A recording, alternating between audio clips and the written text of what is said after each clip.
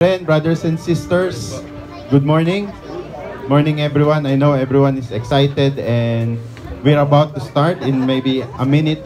We're going to start our praise and worship, worshiping the Lord. So let us all prepare our hearts, prepare our, our mind, prepare our souls, our body to worship the living God. Amen? Amen? So if you are all ready na, may I ask everyone to stand and the worship team, please come in front na po. Uh, as as we will start the worship service, I'd like to call on the, our worship coordinator, Sister Ellen.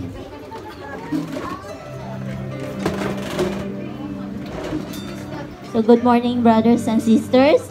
Uh, thanks God because yeah, for this morning, He had given us this day. And can we put all our chairs at the side for us to move through?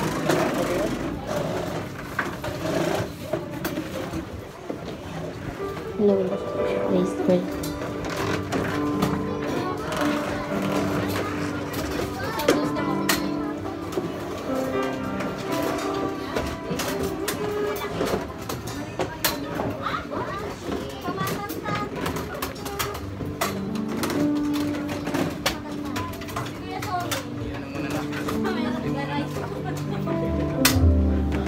Amen. So can we move in front for us have space?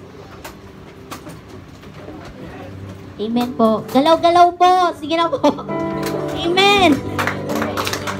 Amen. All our God can. Singles, can we move? Amen. Sige na po. So, can we read all together our scriptures? Space, space, space.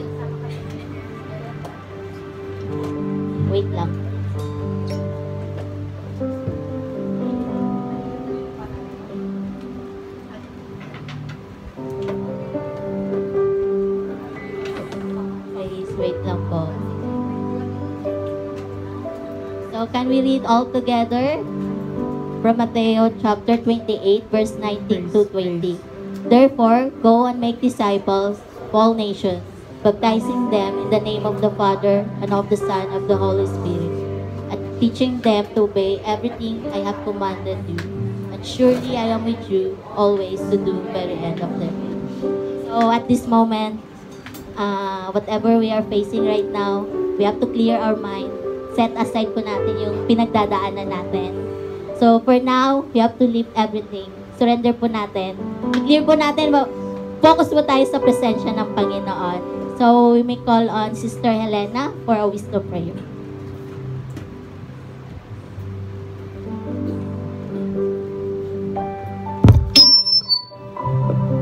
In Lamentation 3, 22, verse 23. It is of Lord's mercies that we are not consumed because of His compassion was not fail. They are new every morning, O Lord Jesus. Great is your faithfulness. Oh, thank you, Lord Jesus. Thank you, Father, loving Father, oh God. Thank you for your unfailing love, oh God. Thank you for your mercies.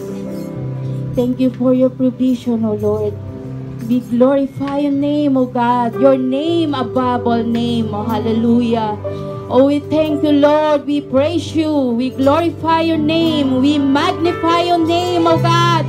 We exalt your name. We lift up your name in this place, O God. Hallelujah. Oh, fill us with your presence, O Lord. Be with us, oh God. Holy Spirit, come with us, oh God. Hallelujah. Oh, hallelujah. Oh, sing la la la la sing la la la la la la la la la la la. Oh, thank you, Lord. You are great.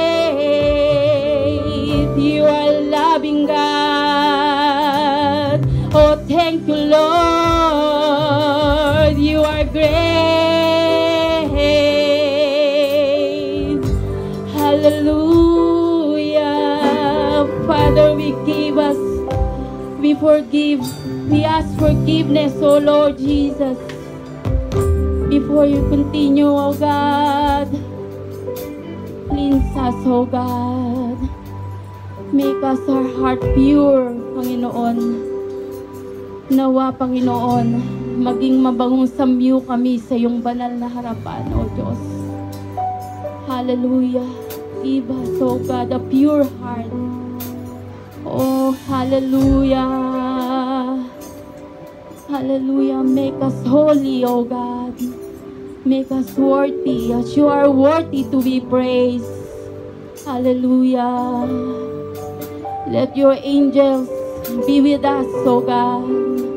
Protect this place, O Lord Jesus, by your most precious blood, O Lord. Hallelujah. We thank you, Father God.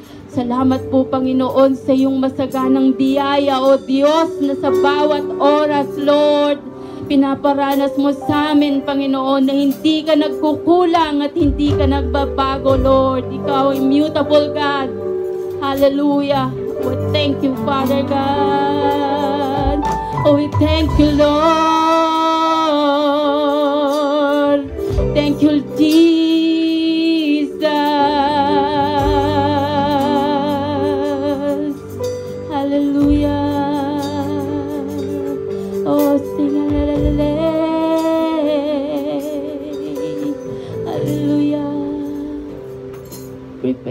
Father God, lahat po ng instrument, Panginoon, Ikaw ang mag-glorify, O Lord, sa aming tagapagpaawit, O Diyos. Ikaw ang mag-glorify, O Lord Jesus. Hallelujah. Thank you, Father God. As we continue our service, O Lord, we pray for the balance of this service, Panginoon. And once again, O God, we claim the victory of this ministry, of this service, O God. Thank you, Father God. We bring back all glory and praise to your name. Hallelujah. Thank you, Father God. In Jesus' name. Amen. We praise you, Lord, in this place. Indeed, Lord, we are not only seeking, O God, for your visitation, O God, but for your habitation in this place, O God. We're praying, Lord, for your Shekinah glory to fall in this place, O God. That you would cause your glory to dwell in this place, O God. We want, Lord, we're desiring for an encounter with you, Lord. Each one of us, Lord. Each one of us, Lord. We come from different walks of life, Lord. We have experienced different things this week, oh God. But we will always go back to you, Lord. We will always go back to you, Lord. For you are the one, Lord. You are our all in all, oh God. You, ref- you, you fill us anew, oh God. You renew us, oh God.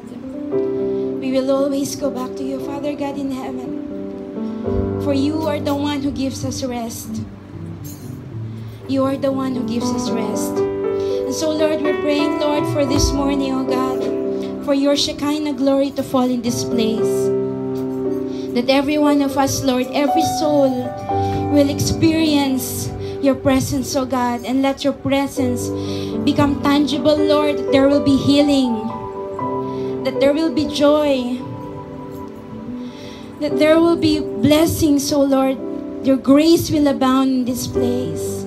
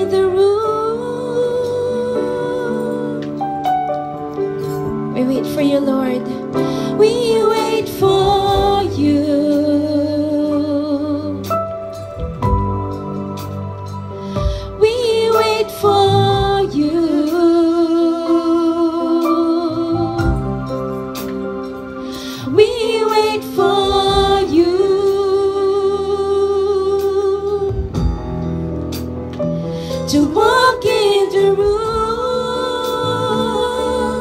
We wait for you, O Lord. We wait for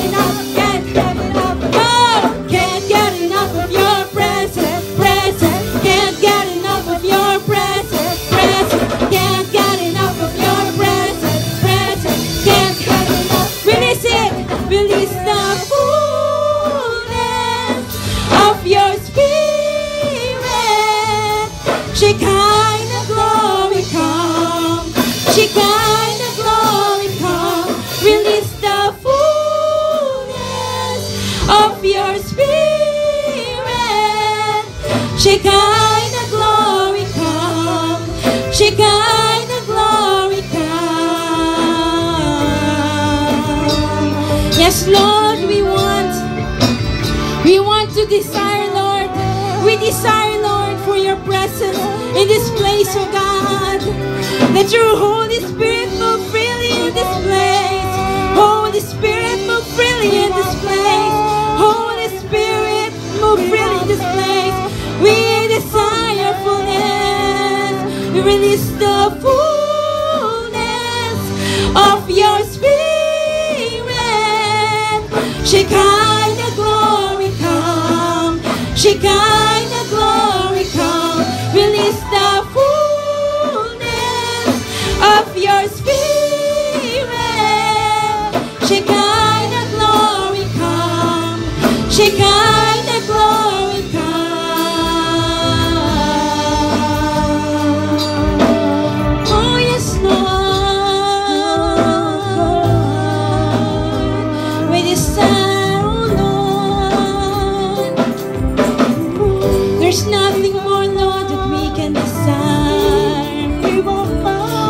Be joy in worshiping you, oh God. Oh, in this place, you deserve the highest praise. You deserve the highest offering that we can give, oh God. You deserve it, Lord. You deserve it, Lord. You deserve it, Lord. You deserve it, Lord. Oh, you deserve it, Lord. And in the mighty name of our Lord Jesus Christ, oh God. We will bask in your presence, Father God in heaven, covered with the most precious blood of our Lord Jesus Christ. Hallelujah. Church, church, Lord Jesus said that when we ask in His name, when we ask in His name, it will come to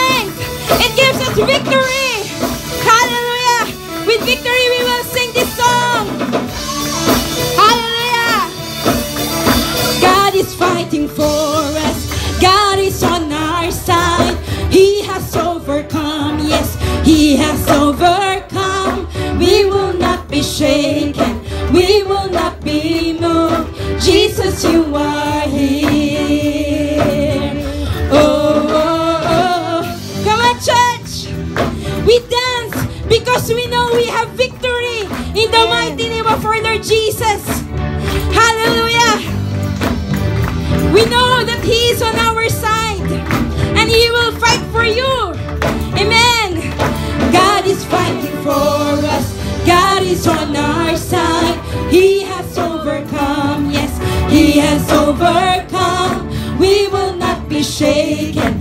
We will not be moved. Jesus, you are here. Amen carrying our burdens, covering our shames. He has overcome, yes, He has overcome. We will not be shaken, we will not be moved. Jesus, you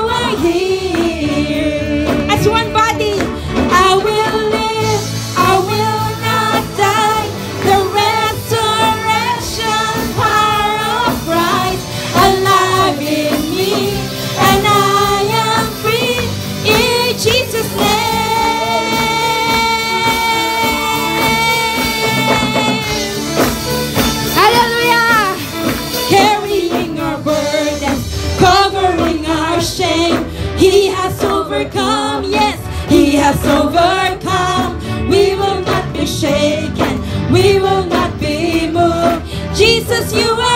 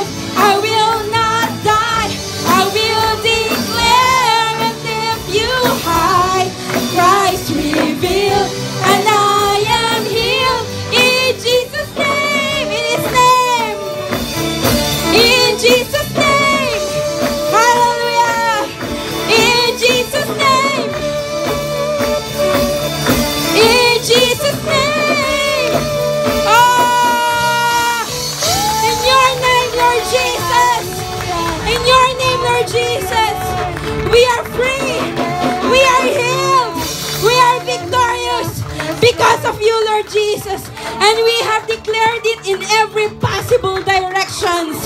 Hallelujah. In every direction, we have declared His name. Amen. In everything, Hallelujah. we have declared His name.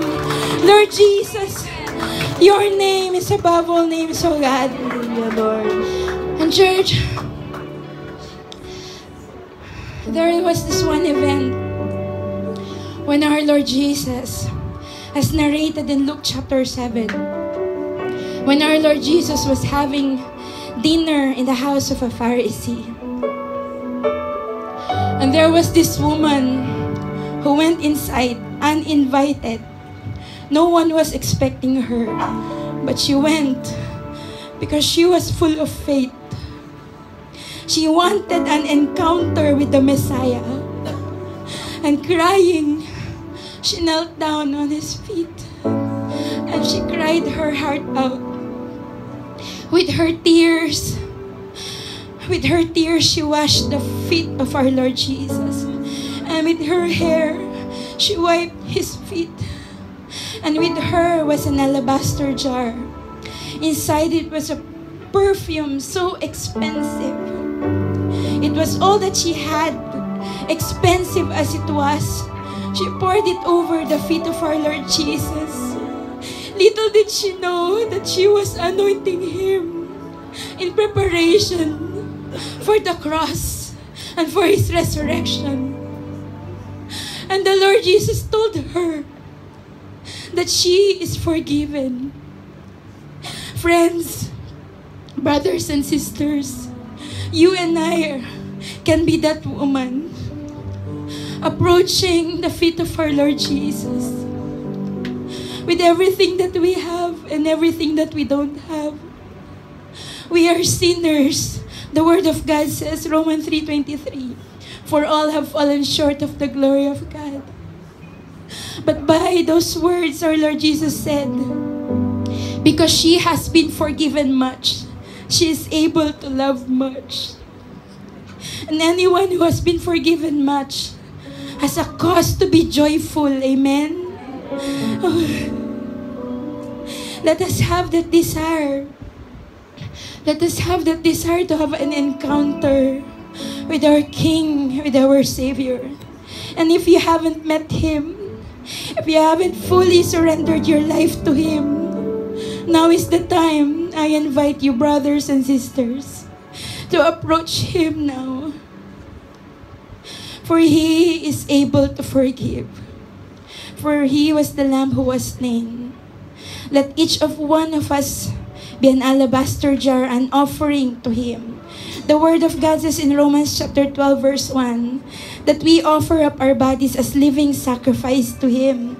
And it is our act of worship. I encourage everyone, brothers and sisters, let's have an encounter with the Lord this morning. Let's offer up our bodies like alabaster jar to Him. Spill out your heart to Him. Spill out your concerns. Spill out your confessions to Him.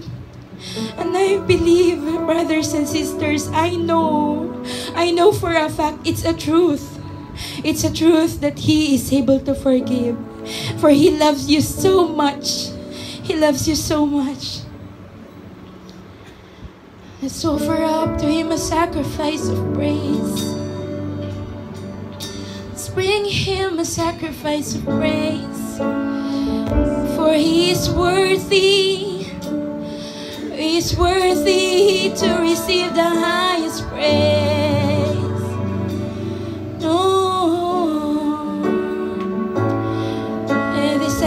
Jar, oh Lord, we bring to you. We offer up our lives to you, oh Lord. We offer up.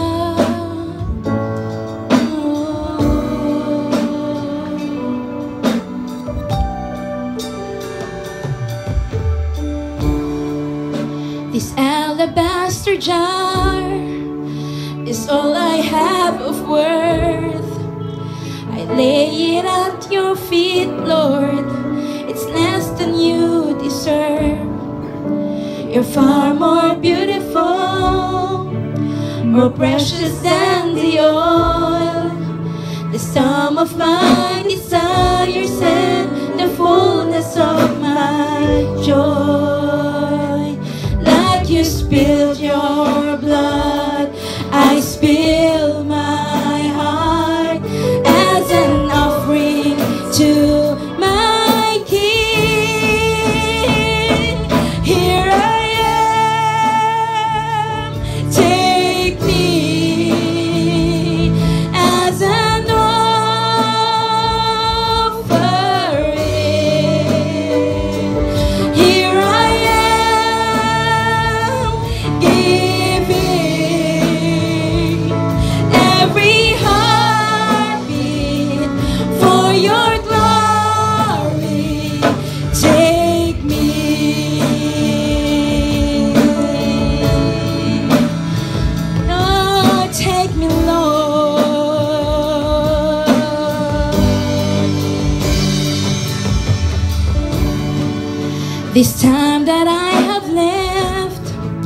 It's all I have of worth.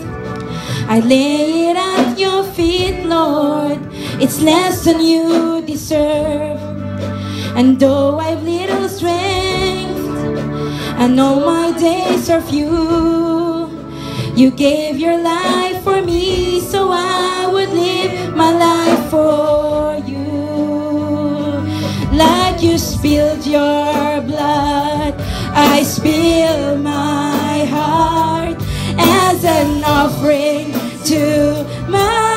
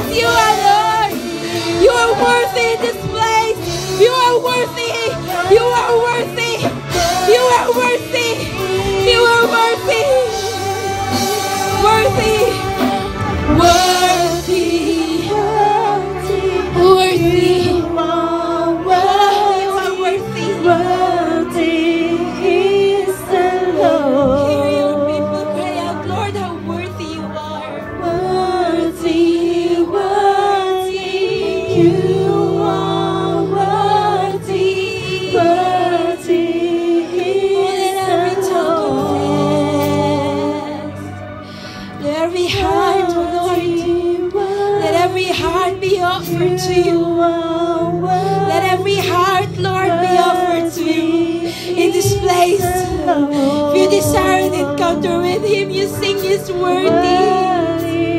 You just lift up your hands. You just lift up your hands to a worthy King. You lift up your hands to a worthy King. Oh, He is able to love and forgive. We worship an eternal King. We worship a loving King. Oh, Abba Father. Abba Father, look in our hearts, Abba Father.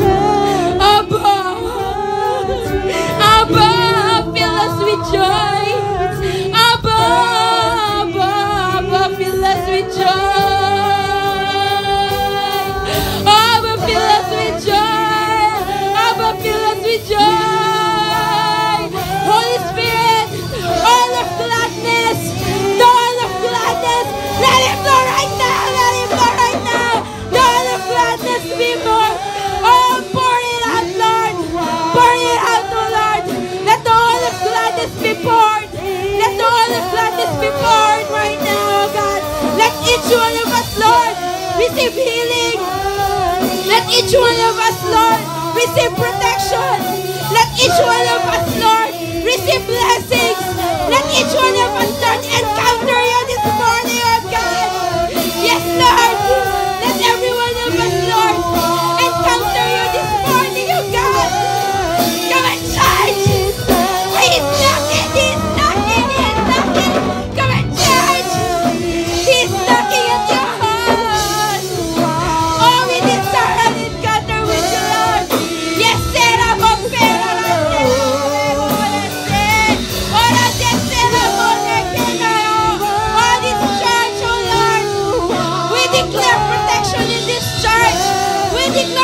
blessings in this church. We declare your power in this church. Signs and wonders will follow this church. Signs and wonders will follow your children, oh God. For everyone, Lord, who loves you, oh God, who wants to abide in your name. Signs and wonders. Signs and wonders. Signs and wonders. Signs and wonders. For you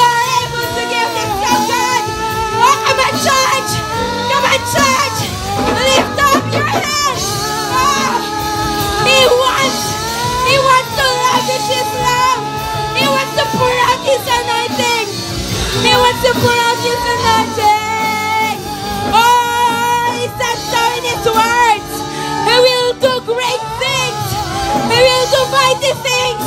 He will do new things so that everyone will see. Even the trees will bow.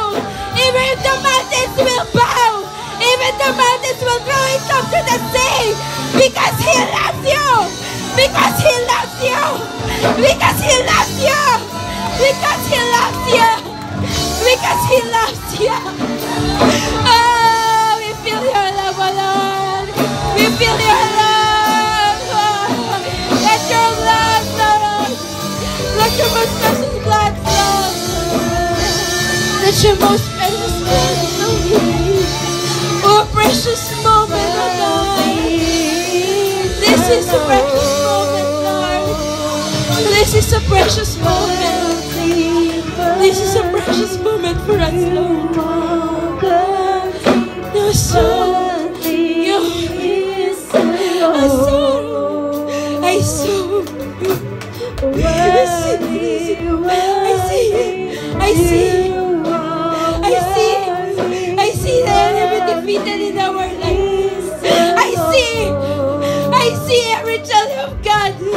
victorious in the mighty name of the Lord Jesus. And I see this church, I see this church prospering in the mighty name of the Lord Jesus. In everything, oh God, be glorified. In everything, Lord Jesus,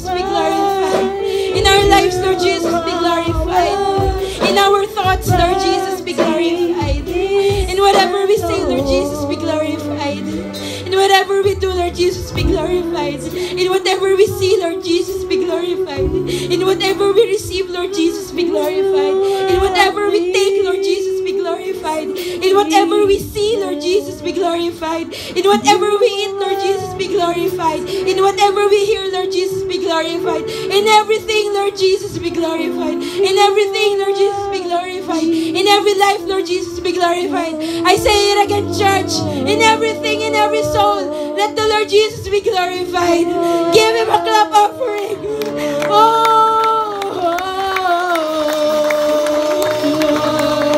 Thank you, Lord.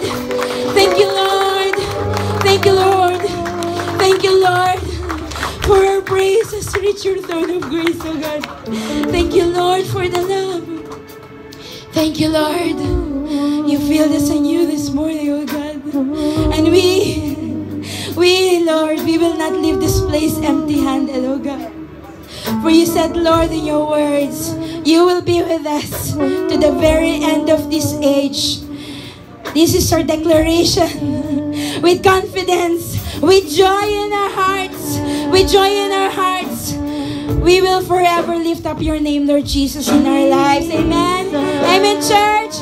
Amen. In Jesus' mighty name, we are blessed. We are loved. We had an encounter with Him. Amen. And He longs to have an encounter with us every day, every second of our life. Thank you.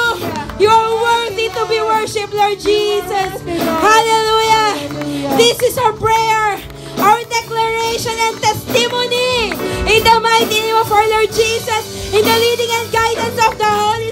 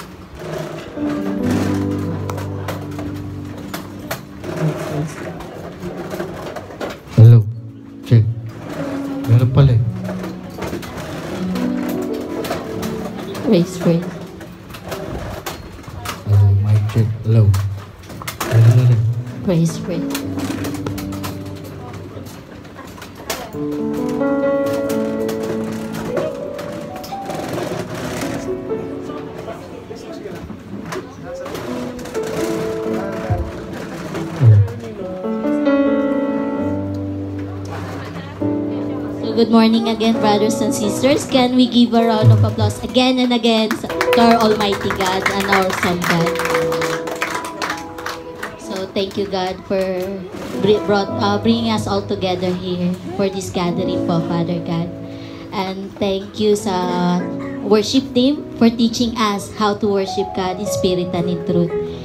So, praise God. So, uh, welcome po everyone. We're all here now. Are we blessed? Amen. More, more, more. Are we blessed? So, gumising na po tayo. Amen. So, ah, welcome po sa JR King. So, bago po ang lahat, ah, I just wanted to share, uh, last month I think I read the, this uh, verse uh, from chapter, ano, from Mark. So, while Sister, ano, Pastor John was reading, it just had comes to my mind. I don't want to, ano, kasi I'm not good in English. I'm good in, ano, computation. Alright, so, this from chapter, uh, Mark chapter 5, I think, or chapter 10. So, uh, when I read, it's just a simple, like, this is a story of Bar- Bartimaeus. I don't know how. It's a blind man. So, when, when I read this chapter, it has uh, what's something special for this is his name was mentioned. As we notice, if we are reading the New, uh, New Testaments, most of them they're not mentioning the names. They must telling that uh, blind, lame. So this Bartimaeus is a blind man. Blind man. When God talked to him, what good for him? He answered, because he heard God. So for us, we have to focus on God. We have to focus what we have. Hindi yung what kung wala sa atin. So if God can talk to us, He will tell us na Gumi, for example, for Arabic, he could tell na Gumi, hey, bumangon ka. Because what you are facing obstacles, sorry. The grace of God is sufficient. The power of God is perfect for weakness. So God is good all the time, and all the time is good. All the time, God is good. So welcome po, pero bago po tayo dadako sa testimony, I just wanted to call uh, Sister Leia. Hi, she's from Cebu. Welcome po sa JR King. Ah, ako po si Ellen, Maria Eleanor for short. You can call me Mary Elaine for my English name. Welcome po sa JRK, JJ, JR King. So I know na it's God who brought you here. It's His will. Amen po. So uh, after the service, meron po tayong ano, mga ministry. We have single ministry, couples, and B team. Bisaya, since she's Bisaya. So, Kuya Ark, you have, we have a new member. So, amen. Amen po. So, let's proceed for testimony. Anyone else? Praise God.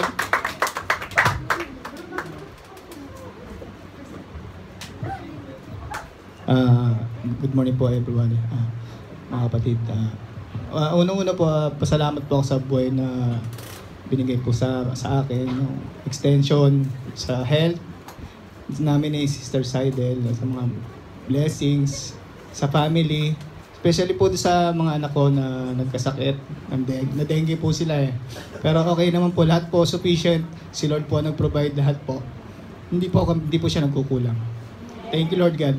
Salamat po. Ligtas na po sila ngayon sa dengue. Thank you po. God be all the glory. Amen po. So, nothing is impossible with God. So, we have new members po. Si, halo, nakalimutan ko. si Patrick and si Ar Arnel. Hello po. Tayo po tayo. Hello po. Welcome po. Elena here. Hello, Kirk. Saan po si Kirk? Hi po, Kirk. From Qatar. Hello po. Welcome po sa JR King family. So, anyone else? Kuya Kenneth? Ah, amen.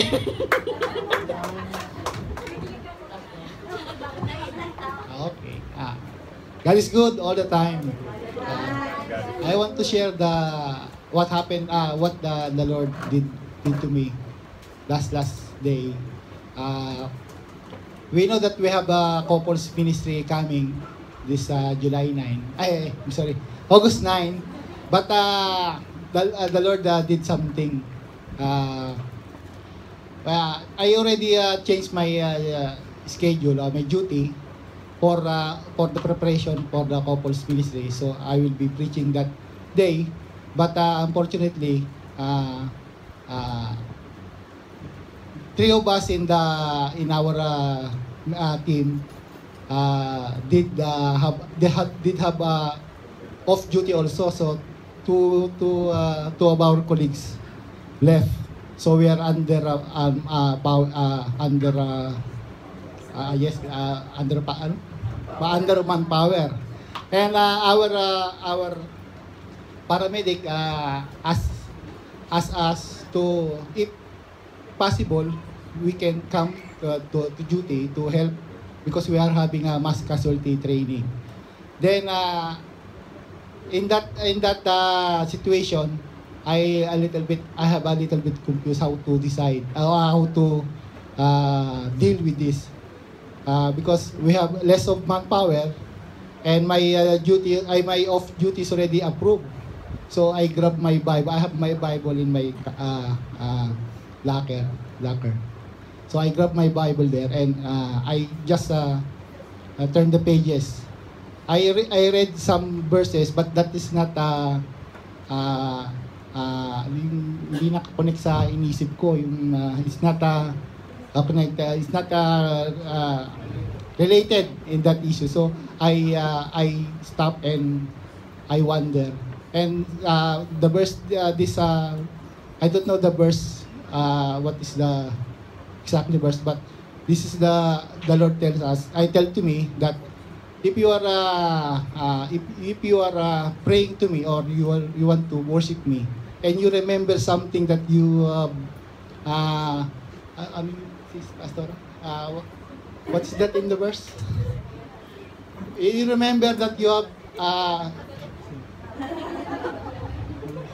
Tatagalog ka rin. Uh, and you, pag may nalaman ka may galit sa'yo, yun, yun. when some, someone, uh, you will remember that you, you're angry with.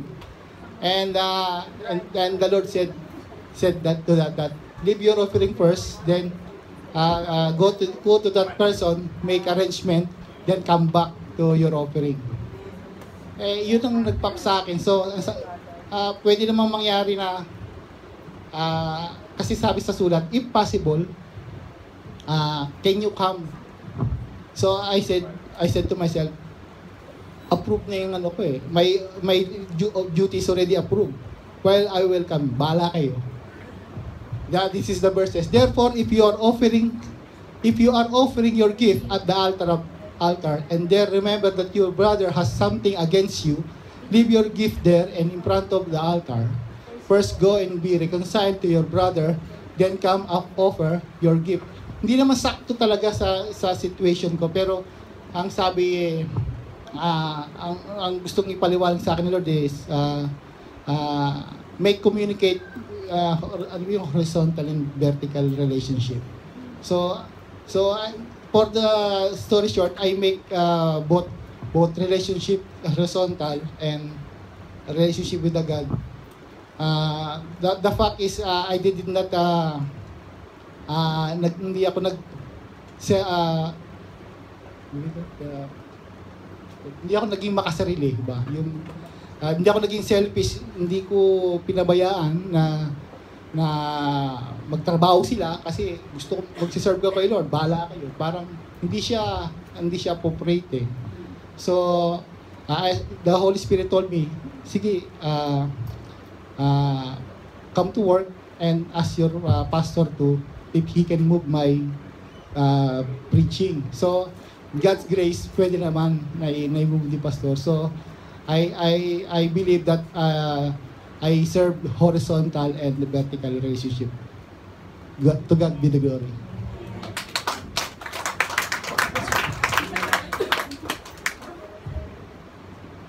Hello po. Yes, thank you po, Bro Kenneth. Uh, correct pronunciation, ah. thank you po uh, by sharing this testimony. You're also sharing the gospel. And it glorifies God Kasi lahat ng mga ginagawa mo, you are depending with God. Thank you. Thank you so much. Uh, anyone else?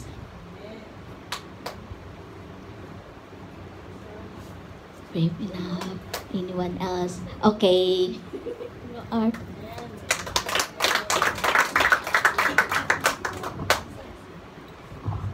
Good morning, church. Good morning.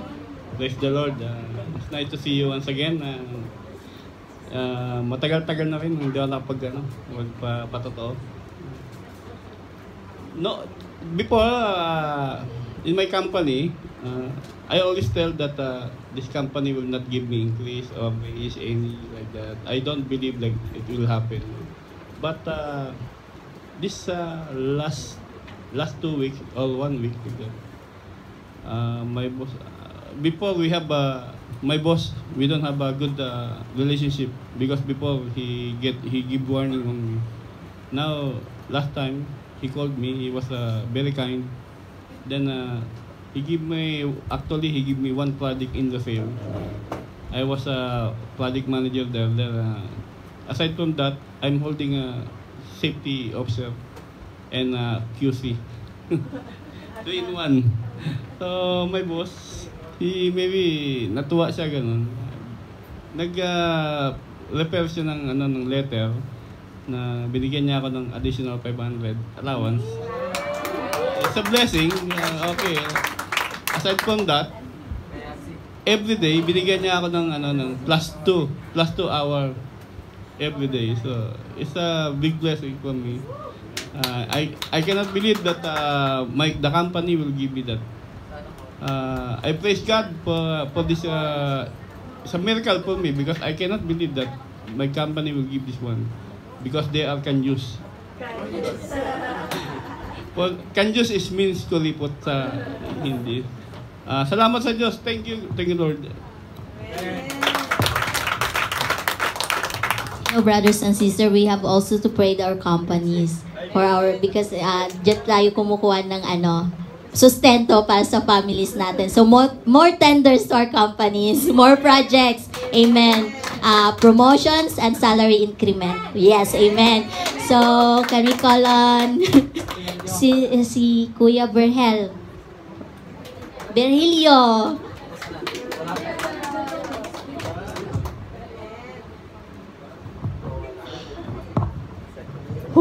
Nakakaba. Good morning, brothers and sisters. Ah, ako po si Brad Brehel, for mayor.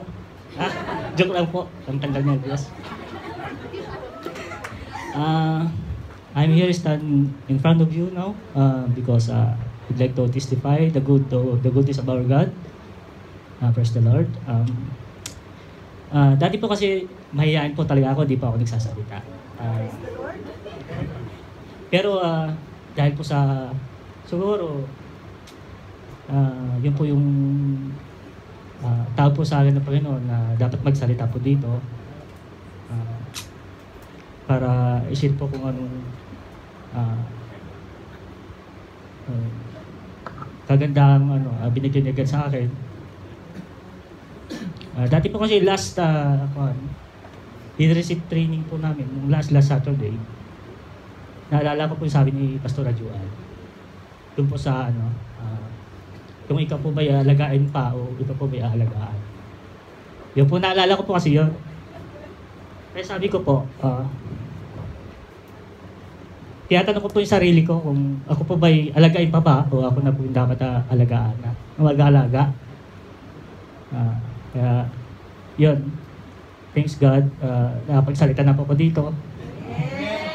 Uh, uh, nakaka-nervyos. Tsaka ano po, ah, sabi din po ni Pastor Joan po noon, ah, nung last preaching po niya, ba't ka matatakot kung sigad na po nasa gitna? Ah, kung matakot ka, kung ikaw Kristiyano, kung sigad yung ah, nasa ano mo, goal mo para ma-achieve mo yung ano, gusto mong ma-achieve. Katulad ngayon, nakapagtatalim na po ako dito, ah hindi po na ako natatakot kasi kasama ko na si God.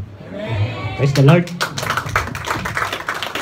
Praise God po sa buhay mo at Kuya Carl. Actually, pareho po kami shy type. Uh, this is the first time po talaga na humawak ako ng microphone. Mm-mm. Oo ah! Go! Amen. So, uh, napaka-bless po natin. Yes, all together po tayo nag-exalt sa Panginoon. All together we are rejoicing. So, praise God.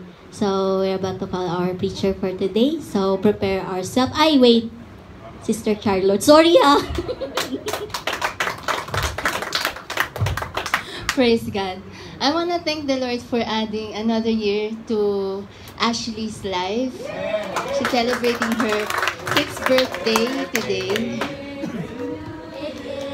Pray that uh, she'll grow in fear of the Lord and she'll have joy forever in her heart and she'll have good health. Praise be to God.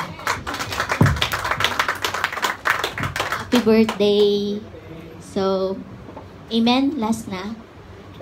So, let us, ano, set our mobile na in a silent mode. So, as we call on, as we are about to receive the Word of God, uh, we may call on Sister, ay, Pastora Aldrin. Amen. Sorry, amen. Praise the Lord. That's okay. Dung, when I was, uh, ayun yung when I was in elementary, madalas akong nabubuli, alam nyo ba yun? They, they will call me Aldrina. Oh, it, it's uh, true. Because uh, hindi naman hindi naman ako ano, hindi naman ako uh, bakla. Pero kasi pag nagsasalita kasi ako malamya yung boses ko. Siguro kaya ganun sinasabi nila. Pero ako rin mahiyain eh. Oh, pare-pare maraming mahiyain dito. But we are bold, you know, for the Lord. Pag nagsasalita tayo para sa the Lord. Para sa Lord. I mean, because pag nandito po tayo sa harapan, we're not, we're not boasting ourselves. No? Hindi po ang ating sarili ang ating tinataas. Kung ang ating sarili ang ating tinataas, yes, mahiya ka kasi, di ba? Anong meron tayo na po pwedeng ipagmayabang? Di ba? Wala, kundi ang Panginoong Isus lang, kundi ang ating Diyos lang. Amen? Brother Allen, yung ating ano. Yan. Praise the Lord. Um, yan. Amen. Are we ready? Amen. I was blessed really dun sa ating praise and worship. Um, especially yung yung kanta natin, Alabaster Jar. You know, sabi nga ng ating worship leader, we should uh, ariin natin na ating mga sarili is yung yung gift na inoffer para sa Lord. Amen. So, today as promised, yung ating uh, bago tayo pumunta sa series of preaching natin about the parables, we will be having our water baptism.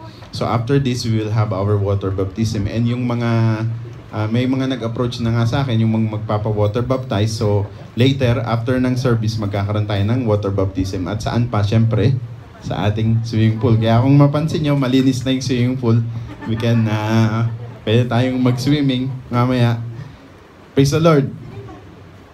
Yan. Let us bow down our heads and uh, pray to God. Let us feel the presence of the Lord. Father God in heaven, Lord, we thank you for this day because indeed, Lord, this is the Lord's day. Panginoon, this is the day that you have made for each and everyone, for us all, Panginoon, for the JR King Church, Father, and we will rejoice in it, Lord. Maraming maraming salamat po for this opportunity once again that you have given, that you have afforded to everyone, that we have come together, Lord God, in this church, as you said in Hebrews 10, 10.25, Lord God, that we should always come together in fellowship, Lord God. And that's what that's what we are doing, Lord God. We are in unity. We are in unison, Father. And Lord, use me, Lord, mightily, Lord God. Make me your, your footstool, Lord God, so that you will be able to convey your message, Lord God, to your to your church, Lord God, the Jericho Church, Lord. Hayaan mo po, Panginoon, that the, all the glory will be yours, Lord God. Nothing, Lord God, no glory will be taken by me, but only you, Father. And Lord, in this worship hall, Lord, we rebuke the works of the enemy. Whatever plans, whatever evil plans the work of the enemy has, we rebuke it in the mighty name of our Lord Jesus Christ. And we declare the blood of the Lord Jesus that we are covered in this place. And each and everyone here, Lord God, I know, Lord God, we have we, we have come here, Lord God, because we wanted not only to hear you, not only to, to, to fellowship with each other, Panginoon, but we have come to experience you, Father. And we, we know, and I know, Lord God, that we have already experienced you in our praise and worship. And Lord, let us also experience you in your word, Father. Because these words, Lord, are not my words. These words are your words, Father. Mga salita mo ito, Panginoon. Therefore, Lord, I will be bold, Lord, declaring your words, Father. Because your words have life, Father. You have come here, Lord God, to give us life, Father. Maraming maraming salamat, Lord. This we pray in your mighty name, our Lord and Savior, Jesus Christ. Amen and amen and amen. Yan. So, the message for this morning is about water baptism. Yan. I, pwedeng i ganun natin tong kortina yan para okay itong lang ventilador siguro. Yan. Para nakikita ko sila dun yan. Baka natutulog na eh. Gigisingin ko hindi joke lang. Yan. So the the message for today is about water baptism. And uh, don't you know do you know church that uh, the Lord Jesus Christ gave two ordinances to the to to the church to us Christians. The first one is Matthew chapter 28 verse 19. It says, "Therefore go and make disciples of all nations, baptizing them in the name of the Father and of the Son and of the Holy Spirit." That's the first ordinance. To baptize in the name of the Father and the Son and of the Holy Spirit. And the second is actually the breaking of bread in remembrance of our Lord Jesus. And this is in 1 Corinthians chapter 11 verse 23 to 25. It says, For I received from the Lord what I also pass on to you. The Lord Jesus on the night he was betrayed took bread And when he had given thanks, he broke it and said, This is my body which is for you. Do this in remembrance of me. And in the same way, after supper, he took the cup, saying, The cup is the new covenant in my blood. Do this whenever you drink it in remembrance of me. So these are the two ordinances that the Lord Jesus gave us. And it's really very proper for us to do this, to, to uh, follow as He has given us. No, yung baptism and yung breaking of bread. That which we are doing every uh, first Friday of the month. And today, today is actually the first Friday of the month. But we will not do our um, breaking of bread this Friday, but we will do the breaking of bread next Friday so that we can, uh, para po mai, mai, ano natin yung ating time because we will have water baptism later on after the service. Okay. Now, um, I, I think maybe, uh, if not all of you, maybe some of us or most of us know that the Lord Jesus Christ went to where? The river of Jordan to be baptized by who? John the Baptist. Ang galing nyo. Yan. Ayun ang sabi sa Matthew chapter 3 verse 13 to 7, 17. It says here, Then Jesus came from Galilee to the Jordan to be baptized by John. But John tried to deter him, saying, I need to be baptized by you, and do you come to me? So here comes, he- here is John, John the Baptist, who is baptizing uh, by water in the Jordan River. And here comes the Lamb of God. Di ba? Naki, John the Baptist saw Jesus Christ from afar. He said, the Lamb of God who takes away the sins of the world. Di ba? Sabi niya. So he saw him. Then John said, um, John said, I need to be baptized by you and do you come to me? Ah, ikaw nga yung dapat mag magbautismo magbap bautismo ba yung Tagalog no? Mag magbautismo sa akin eh. Bakit eh, ngayon ikaw yung lumalapit sa akin? Yun. That's what John said. And the Lord Jesus said in verse 15, Jesus replied, "Let it be so now. It is proper for us to do to do this to fulfill all righteousness." Amen. So by doing water baptism, it's a fulfillment of righteousness. That's the word of our Lord Jesus Christ, is to, to fulfill all righteousness. Now, what is what water baptism what baptism that does John have? Later on we will see. Basahin ko muna. Um, then John consented in verse 16. As soon as Jesus was baptized, he went up out of the water. At, the, at that moment, heaven was open, and he saw the Spirit of God descending like a dove and alighting on him. And a voice from heaven said, This is my Son, whom I love. With him I am well pleased. So when when the Lord Jesus was, baptized, John saw the open heaven, uh, the, the, the heaven open, and then he heard the word from God saying, This is my Son, in whom this is my Son, whom I love, with whom I am well pleased. In other translation, meron pang karuktong, follow him. Ah. now, church, are we a follower of our Lord Jesus Christ? Or are we are we just here because out of curiosity, uy, meron JR King Church dito. 'Di ba? Na ah meron meron akong nakitang JR King Church sa Facebook. I want to see that church. So you attended. But I believe everyone here, no, including even yung first time lang here, you are here because you are a follower of Christ. Because you you'll not be wasting your time coming to the church, no, instead of uh, instead of resting, you know, some some of us maybe have uh, uh, has been working from Saturday, Saturday, Sunday, Monday, Tuesday, Wednesday, Thursday, and ang pahinga lang is Friday. But you know what? When you come to church, you you are rested because the Lord Jesus says, "Come to me, all you are weary and heavy laden, and I will give you rest." Amen. Because I believe we have we have these baggages, we have this problem, we have this trial, and the church will give you rest. Not not ex- exactly the church, but our God will give you rest. Amen. But of course, you dito sa church nabubuo yan, the environment because what is in here is love. 'Di ba? Do you love one another? Not uh, not as opposite sex love, ah, but as uh, brotherly, sisterly, 'di ba? Love. Sabihin mo nga, sabihin niyo nga sa katabi niyo na ano, na I love you. Wow. Yung yung mga ay yung Brother Tito, nasan si Sister Susan?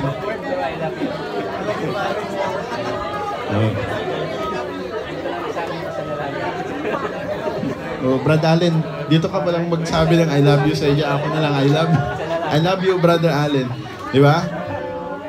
Because that's what that's what we as Christian, that's what we should should be doing, loving each other. Di ba? But sometimes hindi yun ang nangyayari because sad, sad to say there is a tempter. Di ba? Nandiyan si Satan, he, he always he always tempts us, he wants to bring us down. No, but kung magpapatalo tayo, kaya nga narinig ko yung sabi ni, ni sister, Hebrews chapter 12 verse 2 says, focus our eyes on the Lord Jesus, the author and perfecter of our faith. Yes, He is the author, and not only He is the author, He is the perfecter. Imagine, siya na nga yung nagsulat. For example, I'm the author, ako na yung nagsulat. And then I will also do whatever I can to to be able for you to understand and to to uh, implement or to perform what I have written. He's the He's the author and He's the perfecter of our faith. So we just need to focus. Now, dito, basically, ang sinasabi ng Panginoong Yesus dito is, it's humility. Because the water baptism, yan, Acts chapter 19 verse 4 says, Paul said, John's baptism was a baptism of repentance. He told people to believe in the one coming after him, that is in Jesus. So actually, John the Baptist is baptizing to prepare to prepare the people for the one coming after him, which is our Lord Jesus Christ.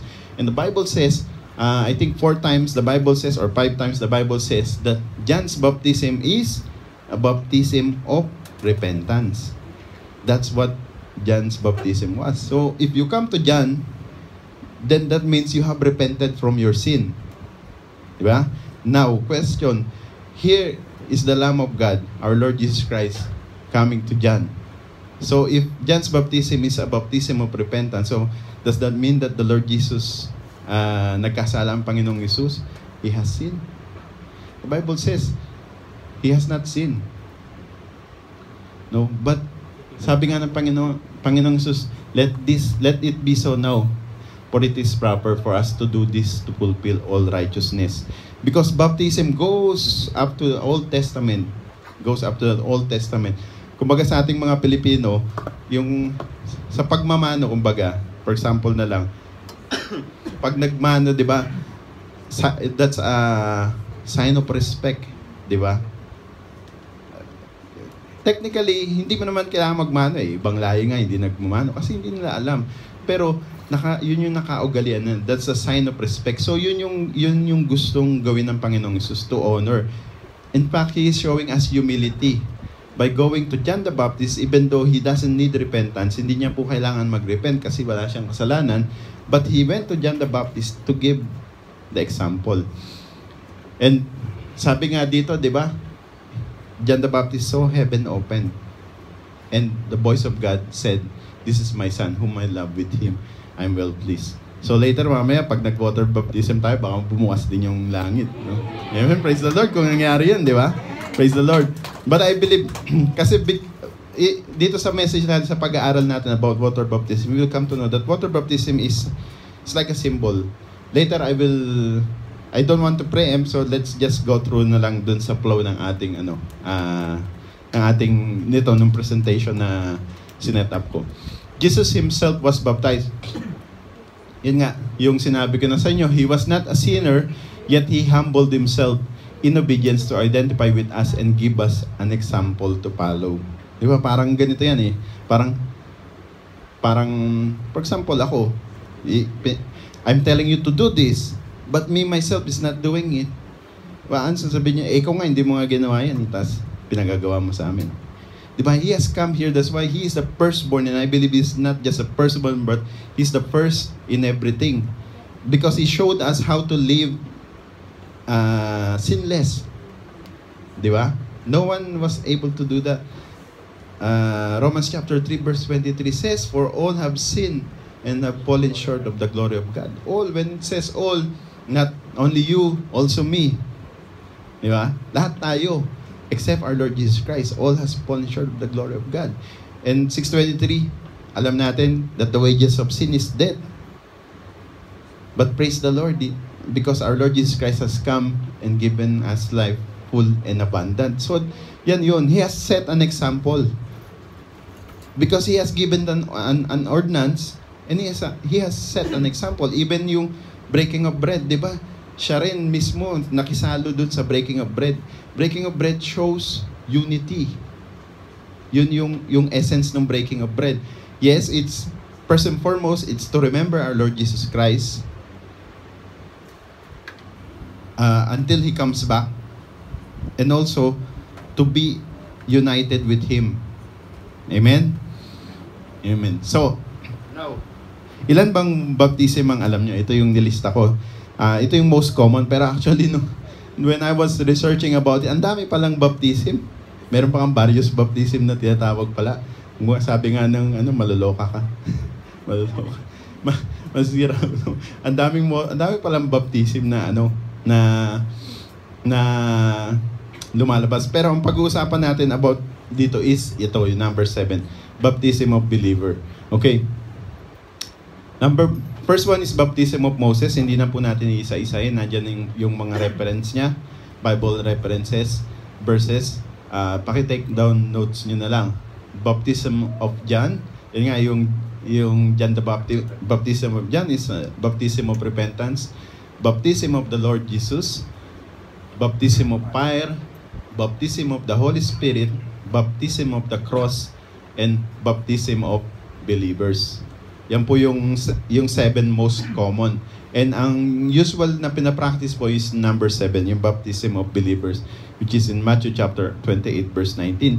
Na nabasa na nga natin at sabi, uh, Go ye and baptize in the name of the Father, and of the Son, and of the Lord Jesus, and of the Holy Spirit. So, yan po yun. Now, let's discuss about baptism. Are you intrigued? What is baptism? Sino po dito nakakalam kung ano yung ibig, sabihin ng baptism before? Kasi alam niyo po, ako, ang alam ko kasi sa baptism talaga, yung sa bata, yung binabaptis, binabaptismahan yung bata. Na ang na-witness ko kasi malaki na ako nun si Brother Allen nung baby pa to kasi we have 14 years. Pag dito nga magpakita ka kaya, Brother Allen. Dito, magpakita ka dito ah. Labas ka dito para makita ka nila. Ito po yung si Brother Allen, yung aking nakababatang kapatid. Yan. Yan po yung, yan po yung bunso namin. Uh, we have 14 years difference in terms of age. Uh, tatlo po kami magkakapatid and he is the uh, youngest. Ngayon, so I I was able to witness nung binautismuhan siya. Ang ginawa nung parang yung parang nilagyan siya ng tubig dito sa ulo. So that's that's the baptism that I know before. But when I became when I became a Christian, that's when I came to know about baptism. You know, in the Bible, because originally the Bible is written in Greek. So, baptism, yan yung ganun. Hindi ko mabasa. Pero sabi nila, sabi, ang English term, ang English letters daw niyan will look like this, baptizo. Baptizo. Yan yung Greek word. And it means, baptizo literally means to dip or to immerse. To dip. That's why, so, ibig sabihin, yung baptism pala, hindi lang siya basta wisik-wisik, no? Or yung tinutuluan ng tubig dito. But, ha? Yun nga, sprinkle. But, literally, you, you're going to be immersed, you're going to be deep. Yan yung baptism. Amen?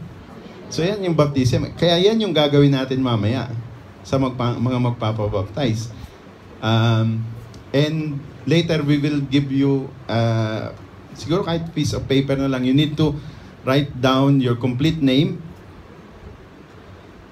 Uh, hindi na siguro age, name, name na lang, complete name.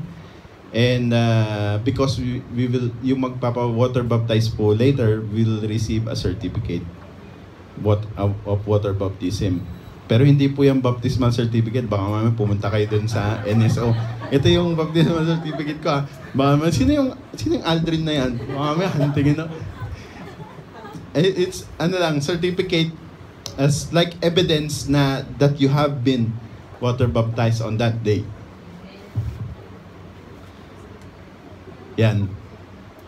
Okay, so but kasi hindi ko na hindi ko na isama dito yung water eh. kasi okay, si- sinabi natin baptism, bap- so bakit water? Di ba? But water? Okay, baptism, you will be immersed, ilulubog ka. O, eh bakit ngayon water? Anong significance naman ng water? Ngayon, sino nagsabi ng cleanse? Narinig ko. Ayan. So, uh, kasi, I know, alam nyo, when, when the Bible talks about water, it can talks about a literal water, and it can talks about what the effect of water. So, what is the effect of water? Ano ba yung effect ng water? Sino ba dito gumagamit ng water? Sino nanligo dito kaninang umaga? Ah, Ayan, um, mukhang lahat naman, no? Sinong hindi naligo? At least honest. so, so water is for sabi sa- sabi nga water is for cleansing. Yeah. So for cleaning, let's let's just say for water is for cleaning. Maraming gamit ng water. There's many uses. You can clean the car, you can clean the plates, you can clean everything. Di ba? Yan. Ngayon, sabi may nagsabi kanina sprinkle daw. In Ezekiel chapter 25 ah, 36 verse 25, sabi rito, I will spring I will sprinkle clean water on you and you will be clean. I will cleanse you from all your impurities and from all your idols. You see, because in in the Old Testament when they say water, when they say I will sprinkle water on you, they know instantly, "Tiyang, parang ganyan. They know instantly na, oh, ibig sabihin nito paglilinis. No? Yan yun. Ah You see, in John chapter 15, verse 3, it says, the Lord Jesus is the one talking here. It says, You are already clean because of the word I have spoken to you. Yeah? So, water, clean, and word. Nakita nyo? That, so, kaya pagka sinasa, binanggit ng Bible ang water, it's synonymous, it can be literally as water, or it can be uh, synonymous to the Word of God. Because the Word of God has a cleansing effect. Why? Because if you are sinning right now and you don't know that what you're doing is wrong, when you hear the word of God, you will know that it is wrong. And what are, what are you going to do? You will repent. You will you will you will discontinue sinning and you will repent. 'Di ba? So it will have that that cleansing effect on you. And and ito paborito to ng mga mga wife eh. Siguro hindi ko na lang banggitin. Ha? Kabisado mo? Teka, hanapin ko yung verse. Kinalimutan ko na kasi ayaw ko sabihin eh. Pero sabihin ko na nga, nawala, na, hindi ko makita. Nasaan na yung Ephesians?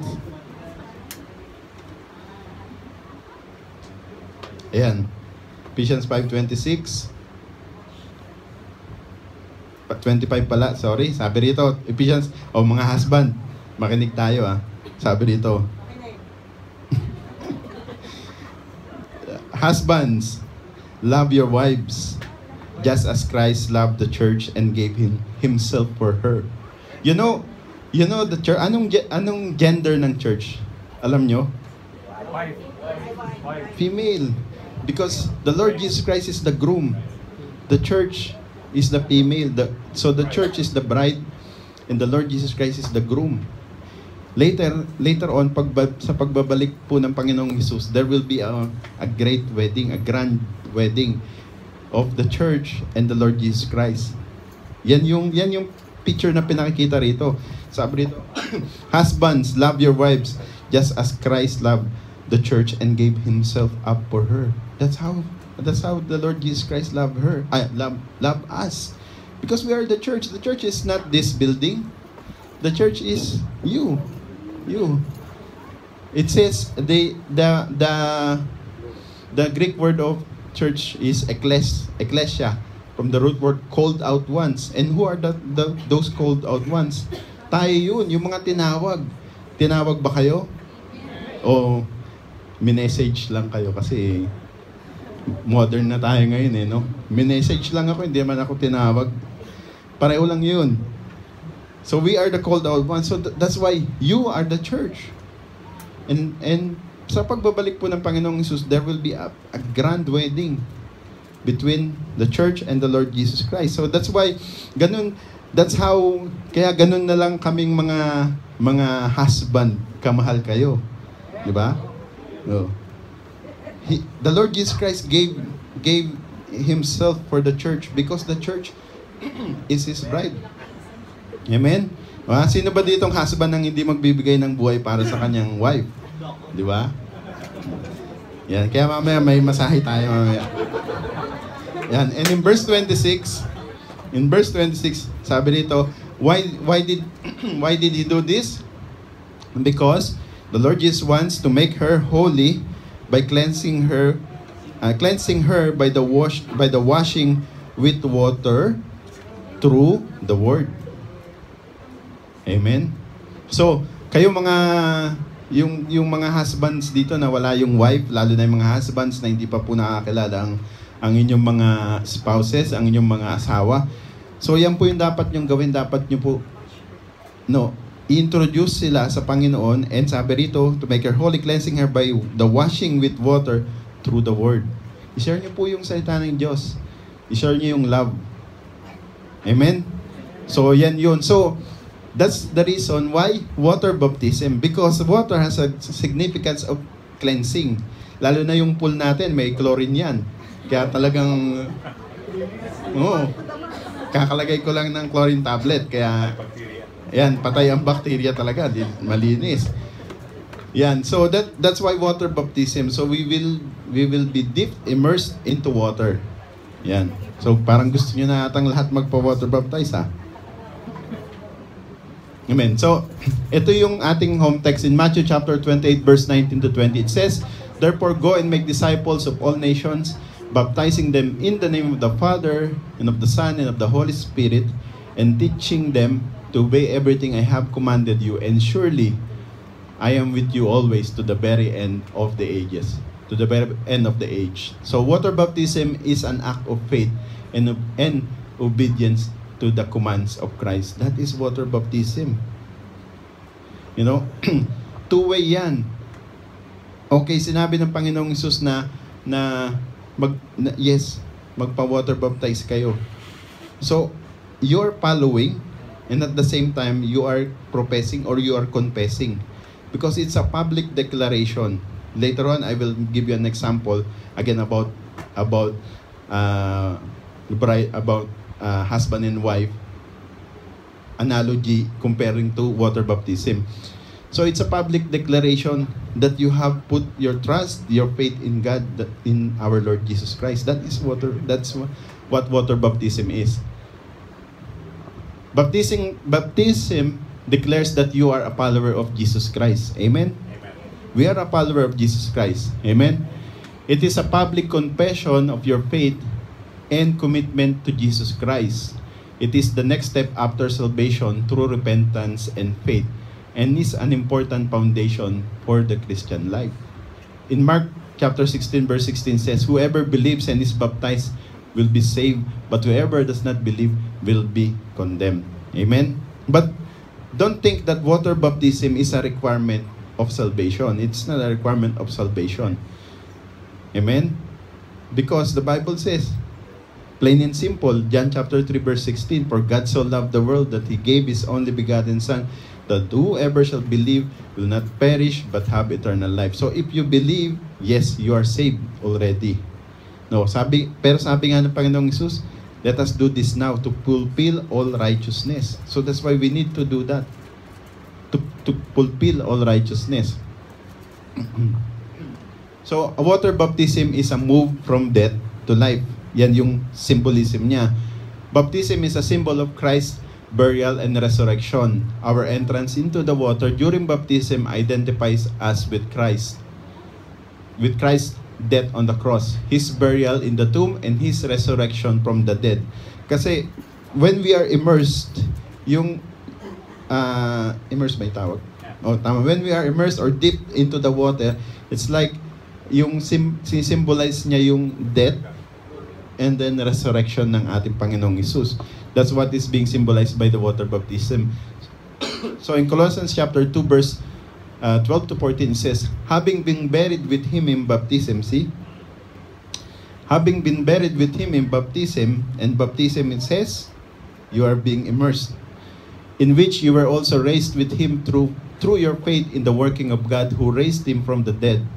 When you were dead in your sins and in the, the uncircumcision of your flesh, God made you alive with Christ. He forgave us all our sins, having canceled the charge of our legal indebtedness which stood against us and condemned us. He has taken it away, nailing it to the cross. Amen? So, doon po sa mga magpapa-water baptize, nag, na, nagkakaroon na kayo ng idea kung ano yung significance and importance ng water baptism. So, tul- tutuloy pa rin ba kayo o ayaw nyo na? Oh, amen. So, ito rin ang isang sinisimbolize ng water baptism, a brand new life. Wow, it's like a brand new car. Sabi nga ni Brad dito kanina, I have a brand brand new car. Pero hindi hindi naman siya brand new, pero new. Sabi nga, sinagsabi ng pre-love, new pre-love. Wow, daming mga term na bago ngayon. ah. so it is a symbol of your new life as a Christian. We bury the old life. Yan kasi yung symbolism niya. Yung old life mo, hayaan mo na dun sa tubig. No, we bury the old life and we rise to walk in a new life. Baptism is like a wedding ring. Ito na. To, bigay yung example. Siguro narinig nyo na example na to. Baptism is like a wedding ring. It is the outward symbol of commitment you made in your heart. A commitment that has to be followed through and live out on a daily basis. 2 Corinthians 5.17 says, Therefore, if anyone is in Christ, the new creation has come, the old is gone, and the new is here. Amen? We are, we are new creation. No? We are a new creation in Christ. Now, sabi ko nga, di ba, baptism, water baptism is like a, is a symbol. Parang ganito yan. Like ito, yung wedding ring. Wedding ring mo, Mal. Kala ko wala eh. Parang ganito yan. Di ba? Pag, kung ako, kung ako merong wedding, if I have this wedding ring, if I'm, I'm wearing the wedding ring, does it mean I'm married? Eh, For example, Bra- Brad Ronel, come here. Uh, ka dito, bro. Oh. Kuwari, for example, si Brother Ronel, I will give my wedding ring. Or, bumili siya ng ring. Wedding ring. Suot-suot niya. And you saw that meron siyang wedding ring. Does that mean that he is married? Does that not mean he's married? But it means, it, it only means that he has a wedding ring. Di ba? Ngayon, if I remove this, I remove ko ah. Ayan. If I remove this wedding ring, wala na akong wedding ring. Does this mean I'm single? I'm not married? No, my wife will say, definitely not. Di ba? I'm, it doesn't mean that without the ring, I'm, I'm not married. Di ba? Pero, I put this, this wedding ring as a symbol of our marriage. Because, di ba sabi nga, nung nila, ni, nilalagay ni Pastora Joan yung sing-sing, wear this ring as a sign of my love. Di ba? Tas, di ko na matandaan yung iba. Till death do us part. Di ba? It's, it's like, when I'm wearing this in in public, it's like I'm I'm uh, ang tawag dito, I'm I'm declaring, I'm confessing or I'm uh, uh, yung pinakikita ko na mahal ko yung asawa ko sa pag sa pagsusuot ng ring na to. 'Di ba? Si, yung minsan nga si sino ba yung matagal na yun eh. Hindi ko alam kung napanood ko or narinig ko yung pagka daw yung may mga single tapos yung nakita yung wedding ring, yung single na parang na, nagiging ano na siya kasi ano na eh, ah, engaged na. So, kumbaga para kay para kay Pastora Joan, masaya si Pastora Joan na suot-suot ko yung ano, yung wedding ring ko. Kasi it's like it's like I'm Yan. It's like I, I'm publicly declaring without me saying that I'm taken. So masaya siya. Kasi pag hindi, Diba? Baka meron, meron akong magustuhan or may aligid sa akin. Di ba? Parang, parang ganun. Parang pogi, no? Ah, di ba? So, oh, yan, napawa to si Brad Michael. Bro, yung wedding ring mo, suot-suot mo ba? Nasa, nasa heart daw. Ikaw, Pastora, suot-suot mo ba? Nasa heart din? Ah, pareho silang nasa heart. P- pwede ba sa heart na lang din tayo? Yan. So, ganun, ganun yun. It's a, it's a public declaration kasi. So, as a Christian, as a Christian, you uh, trying, uh, allowing yourself to undergo water baptism is like you are having this symbol. Kasi symbol to eh. Diba? It, if you remove this, hindi naman ibig sabihin, pag, pag wala to, hindi ka nakasal. You know? Kasal pa rin ako. But it's just a symbol. Diba? Sabi nga ni brother dito, it's to show everyone that I'm taken. Ganun din yung water baptism. It's a public declaration that you have put your faith, that you have put your trust in our Lord Jesus Christ. Amen? Yun yun, yung water baptism. So baptism is a statement to everyone who sees it that I have trusted Christ for my salvation and I'm committed to living for Him. Yan yun. Amen? Amen.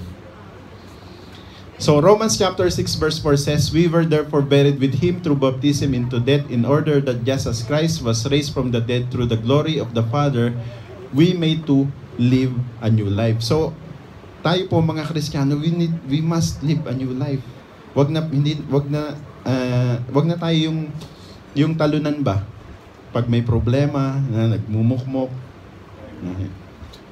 Well, again ha, ito, it's easier said than done. Mga sabihin nyo, eh, Pastor, akala mo naman, napakaano naman. Ang hirap kaya, oo, ako rin nararanasan ko yan eh.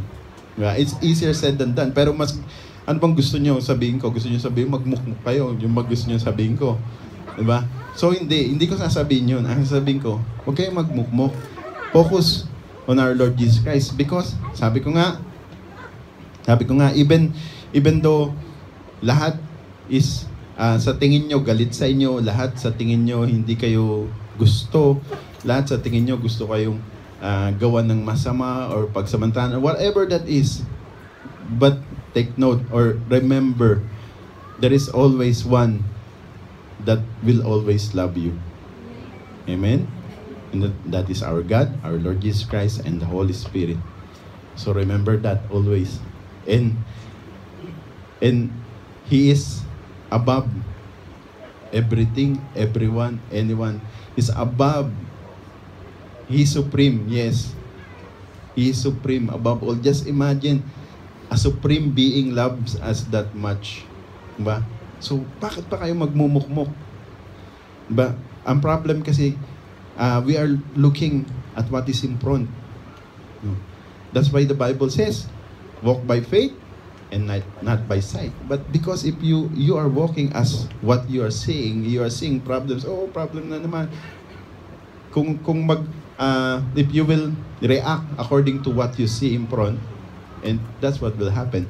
But if you will put your trust, if you will faith in, you will put your faith in God, you will you'll be able to see through dun sa future. Although you you're not really seeing, but because you are putting your faith, your trust in God, then effectively everything will be alright. Because with God, everything is alright. Ha? Sa- Kaya nga sabi natin, God is good all the time. And all the time, God is good. So if God is good all the time, and you put your focus on God, you will be good also. Sabi nga natin, ah, sabi nga ni Pastor Bernie, di ba? What you focus yourself into, you become. You focus yourself on problems, well, may stress ka. You focus yourself in on on on uh, things that will bring you down, yun talaga ang mangyayari. But you focus yourself on the Lord Jesus Christ and you will be spiritually filled. Amen? Amen. So, yan, baptism does not make you a believer. Amen? So, if you want, oh, gusto ko maging believer, magpa-water baptize nga ako. No. That's that's not it. But actually, those who will be water baptized should be a believer already. No. Water baptism does not make you a believer.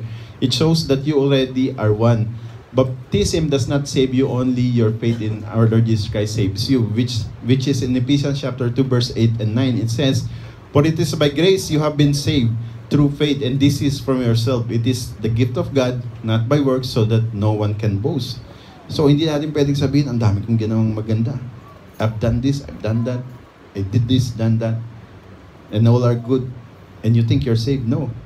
The requirement is actually very simple by grace. We just need to receive it by faith. It's it has been there always. And and the way to receive it is by faith.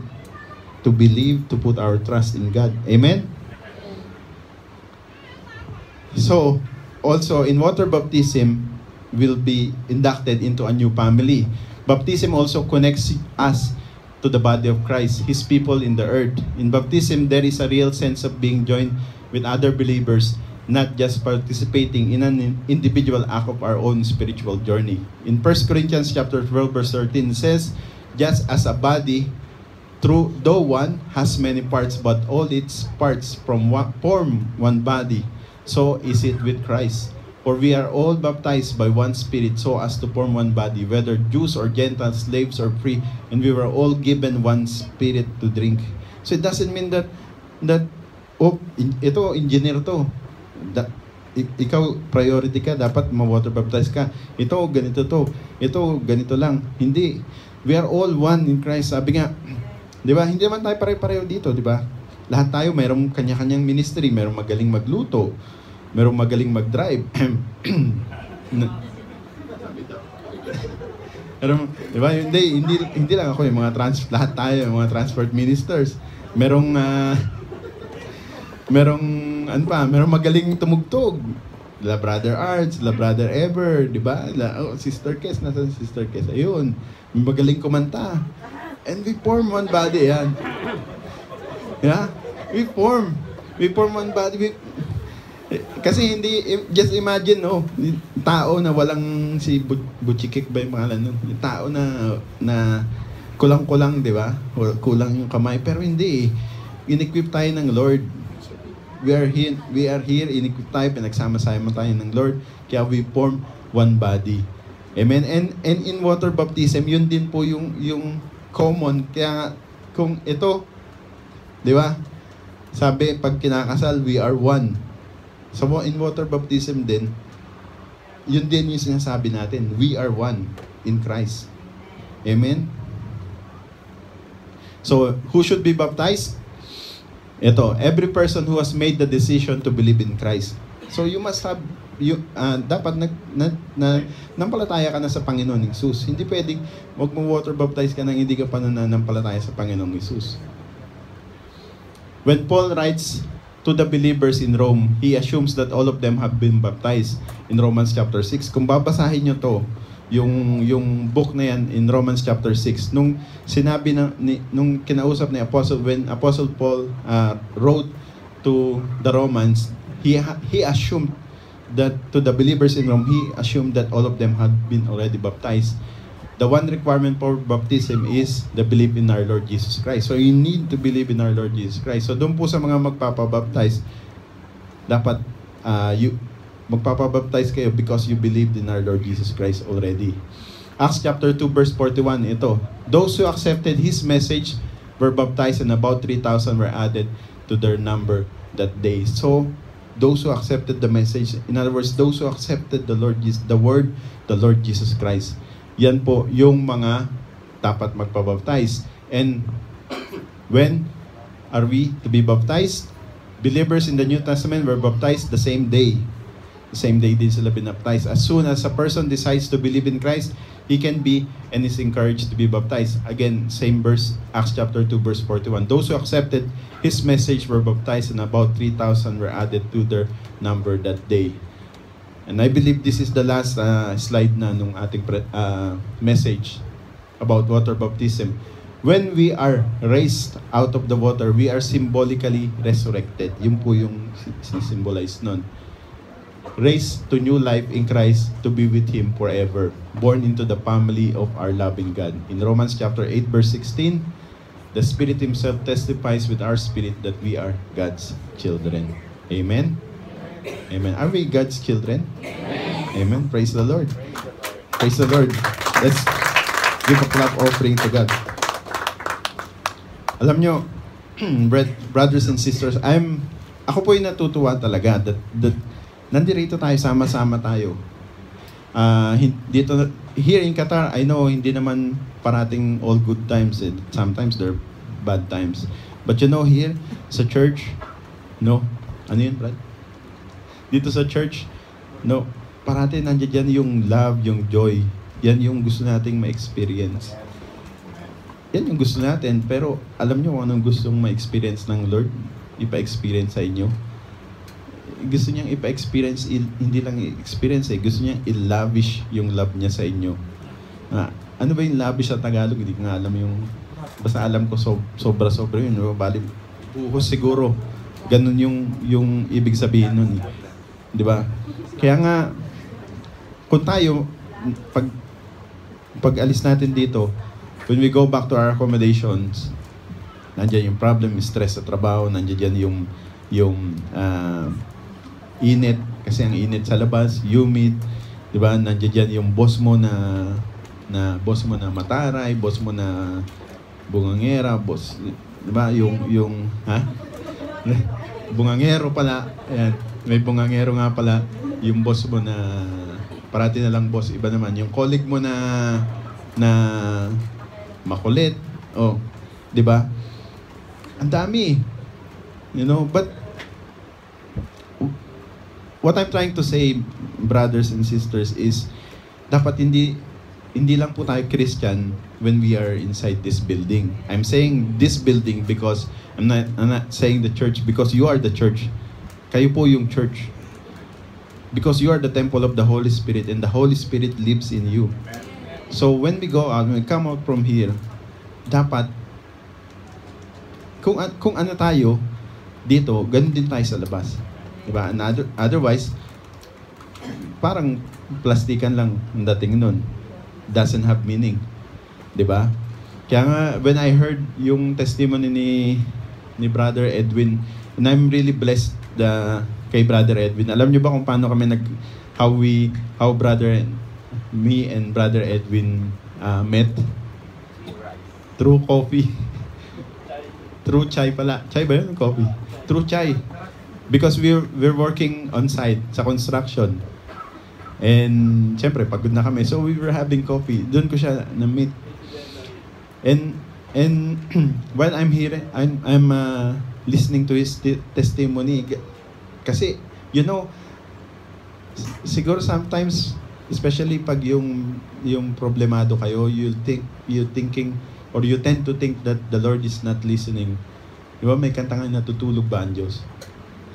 May kantang ganun, di ba? Si Garban Channel. But No, I don't think I don't think natutulog ang Diyos.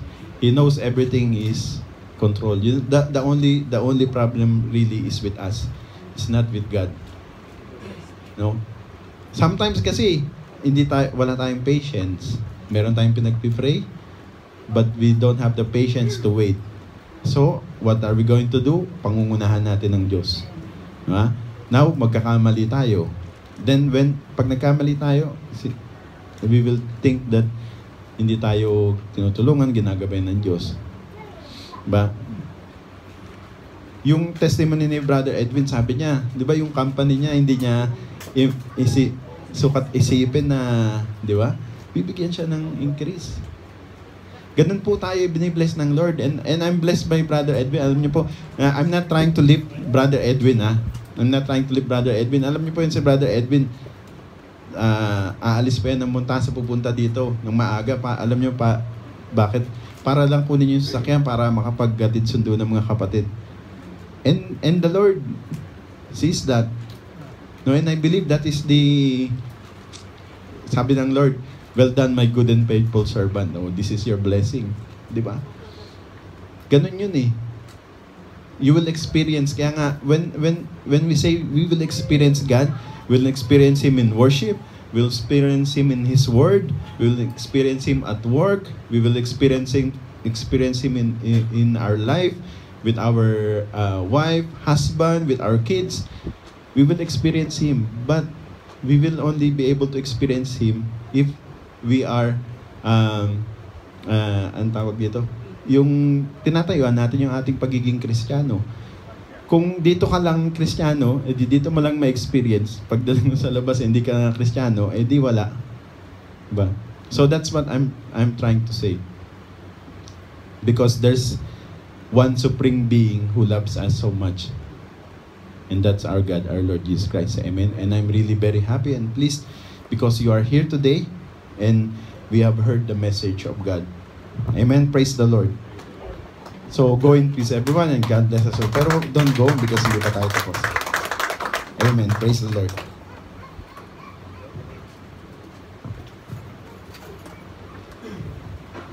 Amen. Praise God. So we receive a very powerful preaching about the water baptism. Now we will move forward to the next part of our service, which is the uh, tithes and offering, where we will give back our uh, glory and praises to our living God through our finances. Amen.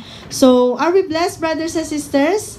Amen. So now you are you re- already know the importance of uh, having the water baptism. It is a public display of our faith and belief in our Lord Jesus Christ. Amen. Amen. So while we are um, distributing the paper, uh, there's an envelope there. There's a small piece of paper there. We'll write your prayer request. So brothers and sisters, prayer requests, even though you don't have now the capacity to give, always remember that everyone should write their names and of course ask for prayer because Pastor Aldrin is the one uh, praying for our prayer requests. And also if you will put your tithes and offering, put your names also. No, don't don't don't think that oh we want to know the name so that we will know how much you give. It's not how much you give but how how how we will pray for you because we know that you are being faithful to your finances. And also we want to pray for you so that the devourer will not uh, attack on our finances. You remember the story of job? You know the story of job. Job was blessed. He was blessed not only himself but his family and all his uh, ari-arian all his uh, possessions. So that is how God is extending the blessing to us, not only to us, but also to our families and also to our possessions. Amen. Amen. So uh, there's a verse in uh, Deuteronomy 18:18. It says there. So while we are distributing the papers,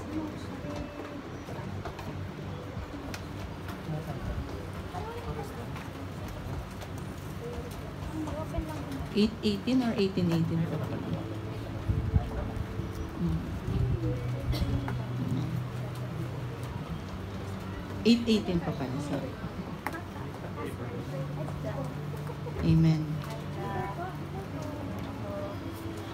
Pwedeng ma- magsimula sa 5 po, PA. Uh, you may say you may say to yourself.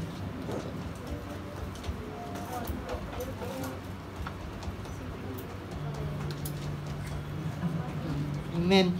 Know then in your heart that as a man disciplines his son, so the Lord your God disciplines you. Six. Observe the commands of the Lord your God, walking in his way and revering him. Seven. For the Lord your God is bringing you into a good land, a land with streams and pools of water, with springs flowing in valleys and hills. Baka 10, 10 po PA. 10, 10, 80. Because it says therefore,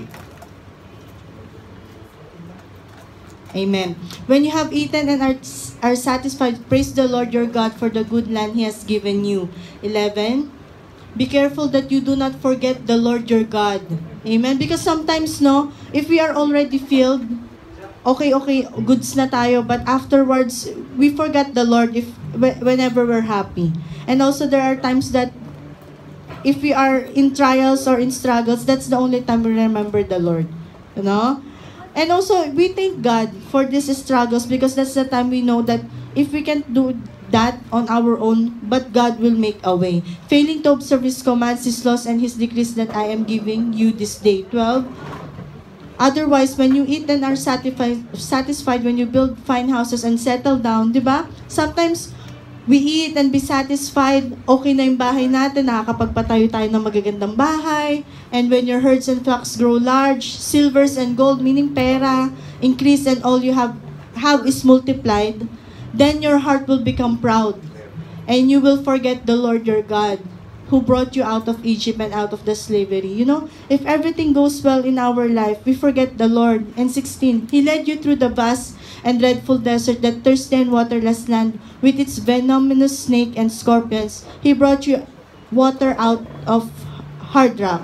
16. He gave you manna to eat in the desert, something your fathers had never known to humble and to test you so that in the end it might go well with you. 17. You may say to yourself, My power and strength of my hands have produced this wealth for me. You know, we're working in, in Qatar and reals are times 14.2 in the Philippines. This is the power and strength that we have. Maybe you'll say to yourself, ah, because I'm good at work.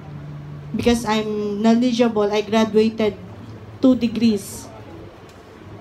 Right? We have these titles and all. I'm the executive secretary of the right hand of the Sheikh and all.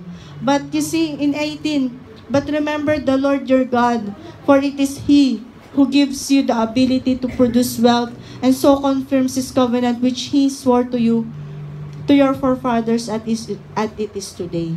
So this morning when you are writing your prayer request, you remember that that money that you are putting inside the envelope, it is uh, it is it came from the Lord. It is it, it is not by our own strength, but remember the Lord that you know up to this day, He is the one providing for us and He is the one giving all that we need. Uh, giving all that we need. And you know, that's why it says in Hosea in it says in the chapter in Hosea, no? Tayo daw po ay nagpapagal at isinusuksok daw po natin ang ating mga kinita sa bulsa na may butas.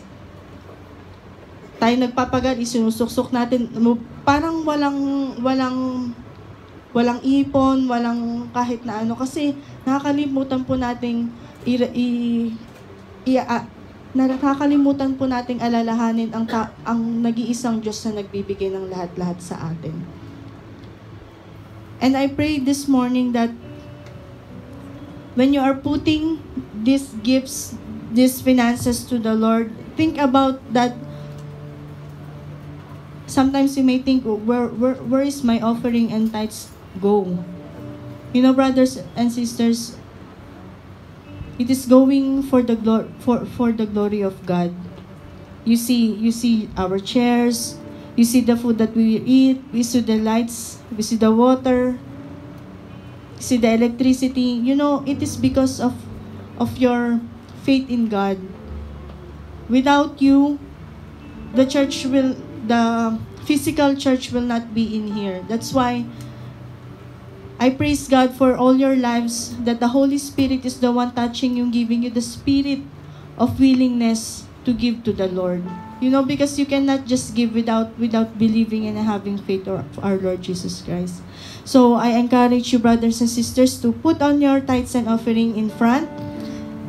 And while you put, you say, Thank you, Lord, because it is God who has given you the uh, the capacity to to produce this wealth.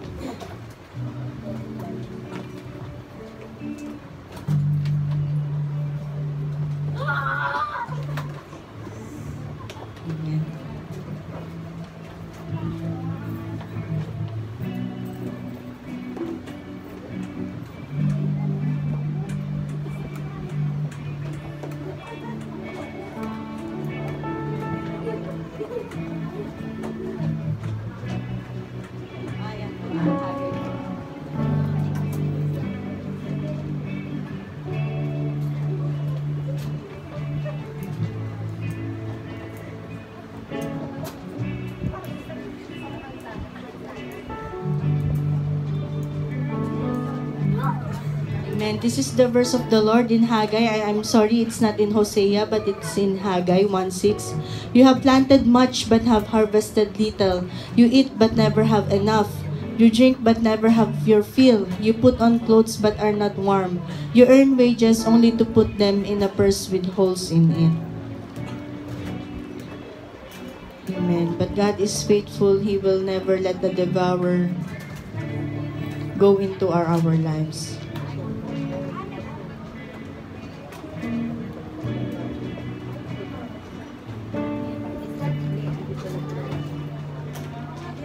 Praise God. So let's all rise and uh, uh, lay, lay our hands to our tithes and offering and we, we will pray for, for, for it.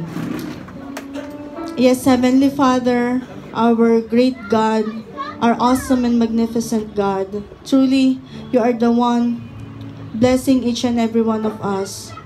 Lord, I thank you, Lord God, for the lives of my brothers and sisters, Lord God, who have given their tithes and offering. And if they are not yet in the capacity, Lord God, to give, I pray that you will open, Lord God, your floodgates of heaven, Lord God, and pour out so much blessing in them, Lord God, that they too, Lord God, will experience, Lord God, the joy in giving, Lord God, to you alone. Lord, I pray for our brothers and sisters who haven't yet received their salaries, Lord God. I pray that Lord God, you will bless our companies, Lord God, with more projects, Lord God, with more clients, Lord God, so that, Lord, we know that our companies is your vessel, Lord God, of blessing unto us, Lord. I pray for our bosses, Lord God, that give them a clear minds, Lord God, so that if they are stressed, Lord God, hindi po kami ang mapagbuntunan, Lord God. Bagkus, Panginoon, naway sila'y maging masaya at maging maayos, Panginoon, upang mapahamala hanan nila, Panginoon, ang mga kumpanya namin, Lord God, ng maayos, Panginoon. Lord, I pray for our brothers and sisters, Lord God, who those who doesn't have yet job, Lord God, who are seeking good opportunity, Lord. I pray that you will give the right job for them, Lord God. And I pray, Lord God, and I thank you, Lord God, for the people that you have given increase and increment, Panginoon. I thank you, Lord God, for their lives, Panginoon. Nakikita mo ang kanilang mga pagpapagal, Panginoon. And Lord God, I speak blessing, Panginoon, sa each and every one of us here, Lord God. That not only finances, Lord God, not only those physical and material things, Lord God, but because the, your peace, your strength, your joy, and love and grace be upon us, Lord God. And Lord, I pray that this too, Lord God, will be extended, Lord God, in our families way back home, Lord God, in Philippines, in Kenya, in Ghana, in India, Lord God. I pray, Lord God, that they too, Lord God, will will feel, Lord God, will feel of how great it is, Lord God, to serve to you, Lord God. Lord, kung hindi pa po sila mananampalataya, Panginoon, I pray that you will touch them, Lord God, right now. I pray that you will open, Lord God, their hearts, spiritual hearts and mind, Lord God, na nawa ikaw ay makapasok, Panginoon, sa kanilang buhay din, Panginoon. And Lord God, I pray for our brothers and sisters, Panginoon, na nasa Pilipinas na Panginoon, na kahit hindi po na namin sila nakakasama dito, Panginoon, dalangin namin na ang iyong presensya ay sumaka nila, Panginoon. Kay Brother June, kay Sister Julie, Panginoon, mga nag-for good, Panginoon. Sila, Pastor Bernie, Panginoon, Mami Tess, Panginoon, ang aming mga kapatid, Panginoon, na Patunay nga, Panginoon, na Ikaw, Panginoon, ang nag-iisang Diyos, Panginoon, na nasaan man kami, Panginoon, we are one because of you, Lord God. And Lord, I pray, Panginoon, sa aming mga kapatid, Panginoon, na nangangailangan ng kagalingan, Panginoon. Heal us completely, Lord God, physically, emotionally, spiritually, Lord God. Come and heal us, Lord. And Lord, I pray, Lord God, that you will always put the spirit of willingness in our hearts, Lord God. Set a fire in our hearts, Lord God, so that we will not be move away, Panginoon, sa iyong presence, Lord God, but in good and in bad times, we will stand and serve you, Lord God. And also, Lord God, we pray, Lord God, as you said in the book of Psalms, Panginoon, that we declare that we are your servants, Lord God, that even though it hurts, even though it pains us, even though it is hard, we will still keep our oath to you, Lord God. And our oath to you, Lord God, is to serve you, Lord God, to become your faithful servants, Lord. Pray, Lord God, I pray for these finances, Lord God. Gamitin mo ito, Panginoon, sa iyong panambahan, Lord God, to propagate your words, Panginoon. And Lord, I thank you, Lord God, that you added, Lord God, Brother Kurt, Brother Arnel, Panginoon, Brother Patrick, Lord God, Sister Lucy, Panginoon, Patuloy, Panginoon, kami nadadagdagan ng nadadagdagan, Lord God, as you said in your word in Book of Acts, Panginoon, that because we are baptized, Lord God, our spirit is one with you, Lord God. N- numbers, Lord God, the followers of you, Lord God, are added daily, Lord God. Added here in your family of believers, Panginoon. And that is our desire, Panginoon. Why are we are boasting, posting these things in Facebook, Panginoon? But, Lord God, we know that you are using technology now, Panginoon. A lot of people, Lord God, right now, babad, Panginoon, sa Facebook, walang ginagawa, Panginoon, pa-scroll-scroll lang. But, thank you for giving us the wisdom, Panginoon, to use Facebook, Panginoon, so that kahit paano, Panginoon, just glimpse 2 minutes, 3 minutes, they can see your word. They can see your love, Panginoon, in social media, Panginoon. Truly, Lord God, use us mightily, Lord God.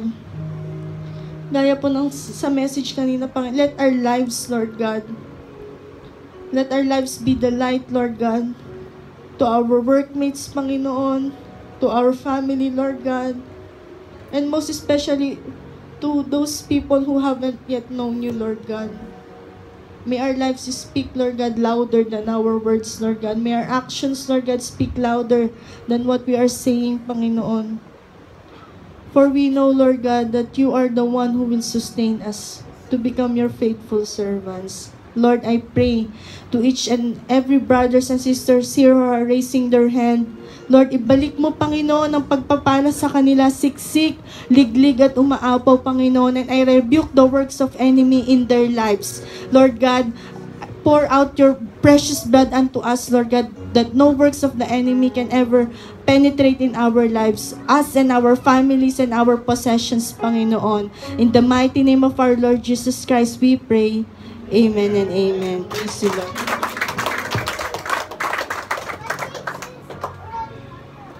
Praise, praise. Praise. Praise,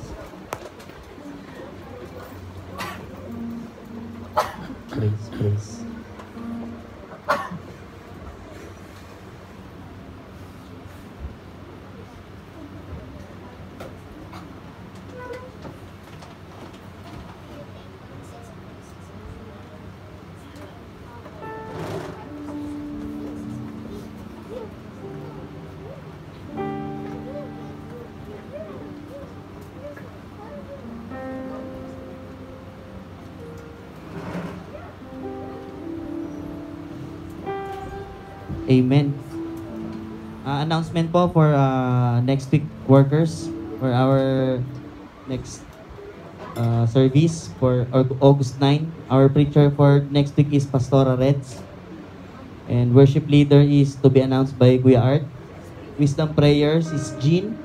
Worship service coordinator, Pastor Aldrin. Tights exhorter, exhorter Sister Presi. Kitchen ministry, ako, Ronel announcement si Brad Daryl, Thanksgiving prayer si Bro Ruel. And ah, dagdag po, announcement, ah, paki-like po yung page natin sa mga bago po. May Facebook page po tayo sa NJR King International Ministry Church sa Facebook po. And then ah, kung kayo po ay single pa or married, tapos wala po yung asawa nyo, meron po tayong men's ministry dito.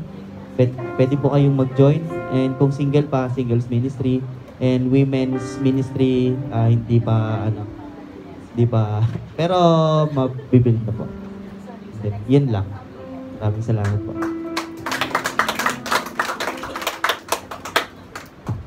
Sister Lourdes.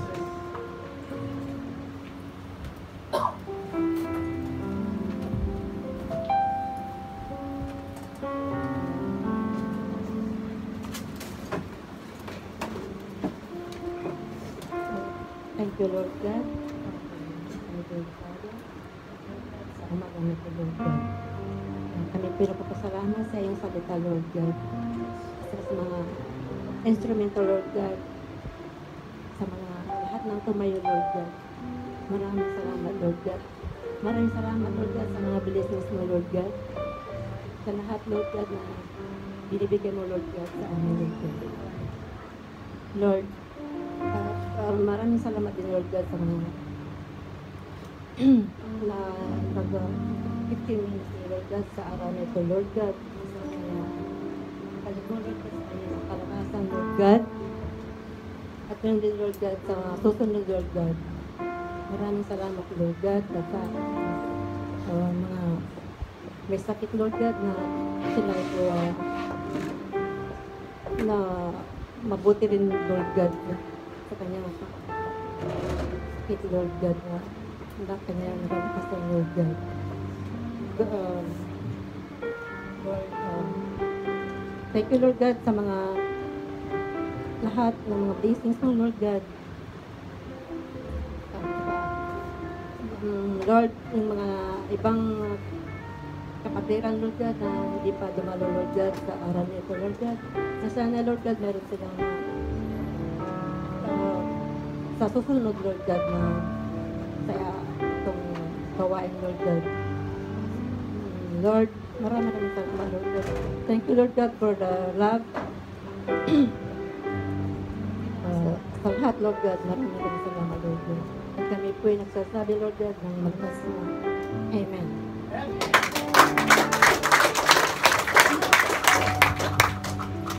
Amen. Praise the Lord. As you remain standing, brothers and sisters, can I call on the worship team?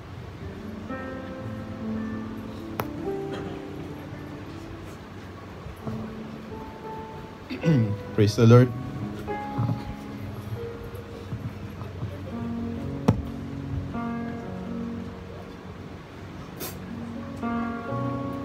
Praise the Lord. Worship team. Okay. Dito na kayo sa harapan. So, praise. Um, basag pa rin. Praise. Yan.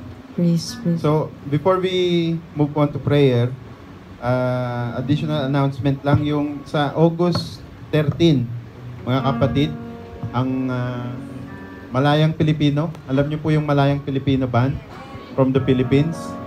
Uh, they will be here on August 13. They will conduct worship and leadership conference from 1 to 5 p.m. on August 13 and they will have a concert on 6 p.m. to 8.30 on that same day uh, dito sa Anglican. So some of us, total of 17 have already confirmed their attendance.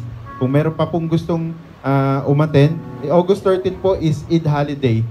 So if you if you are free, pwede po kayong umattend. Yung Malayang Pilipino yan po yung kumanta ng Langit ang aking nadaraman sa kayong salamat, salamat. Yan.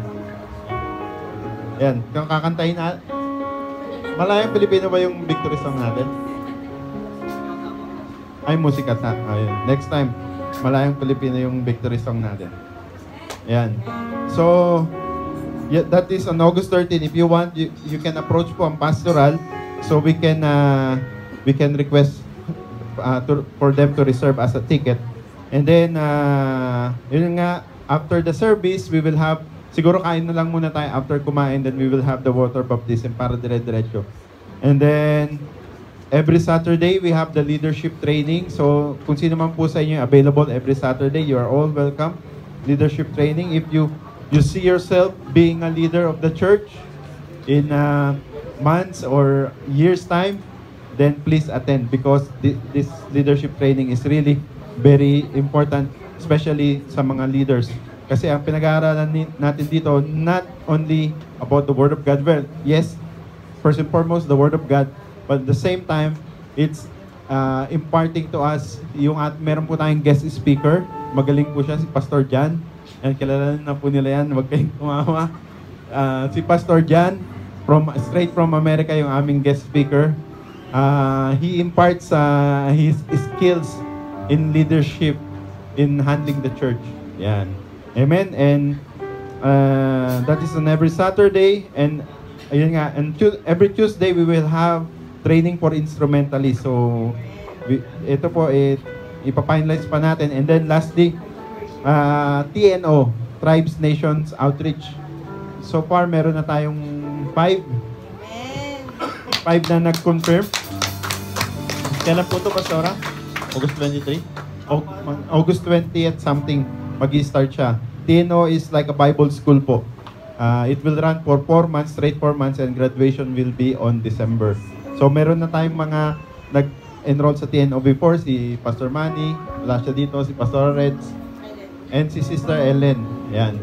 Sila yung mga nag uh, uh, TNO na before. So you are also welcome to attend this TNO.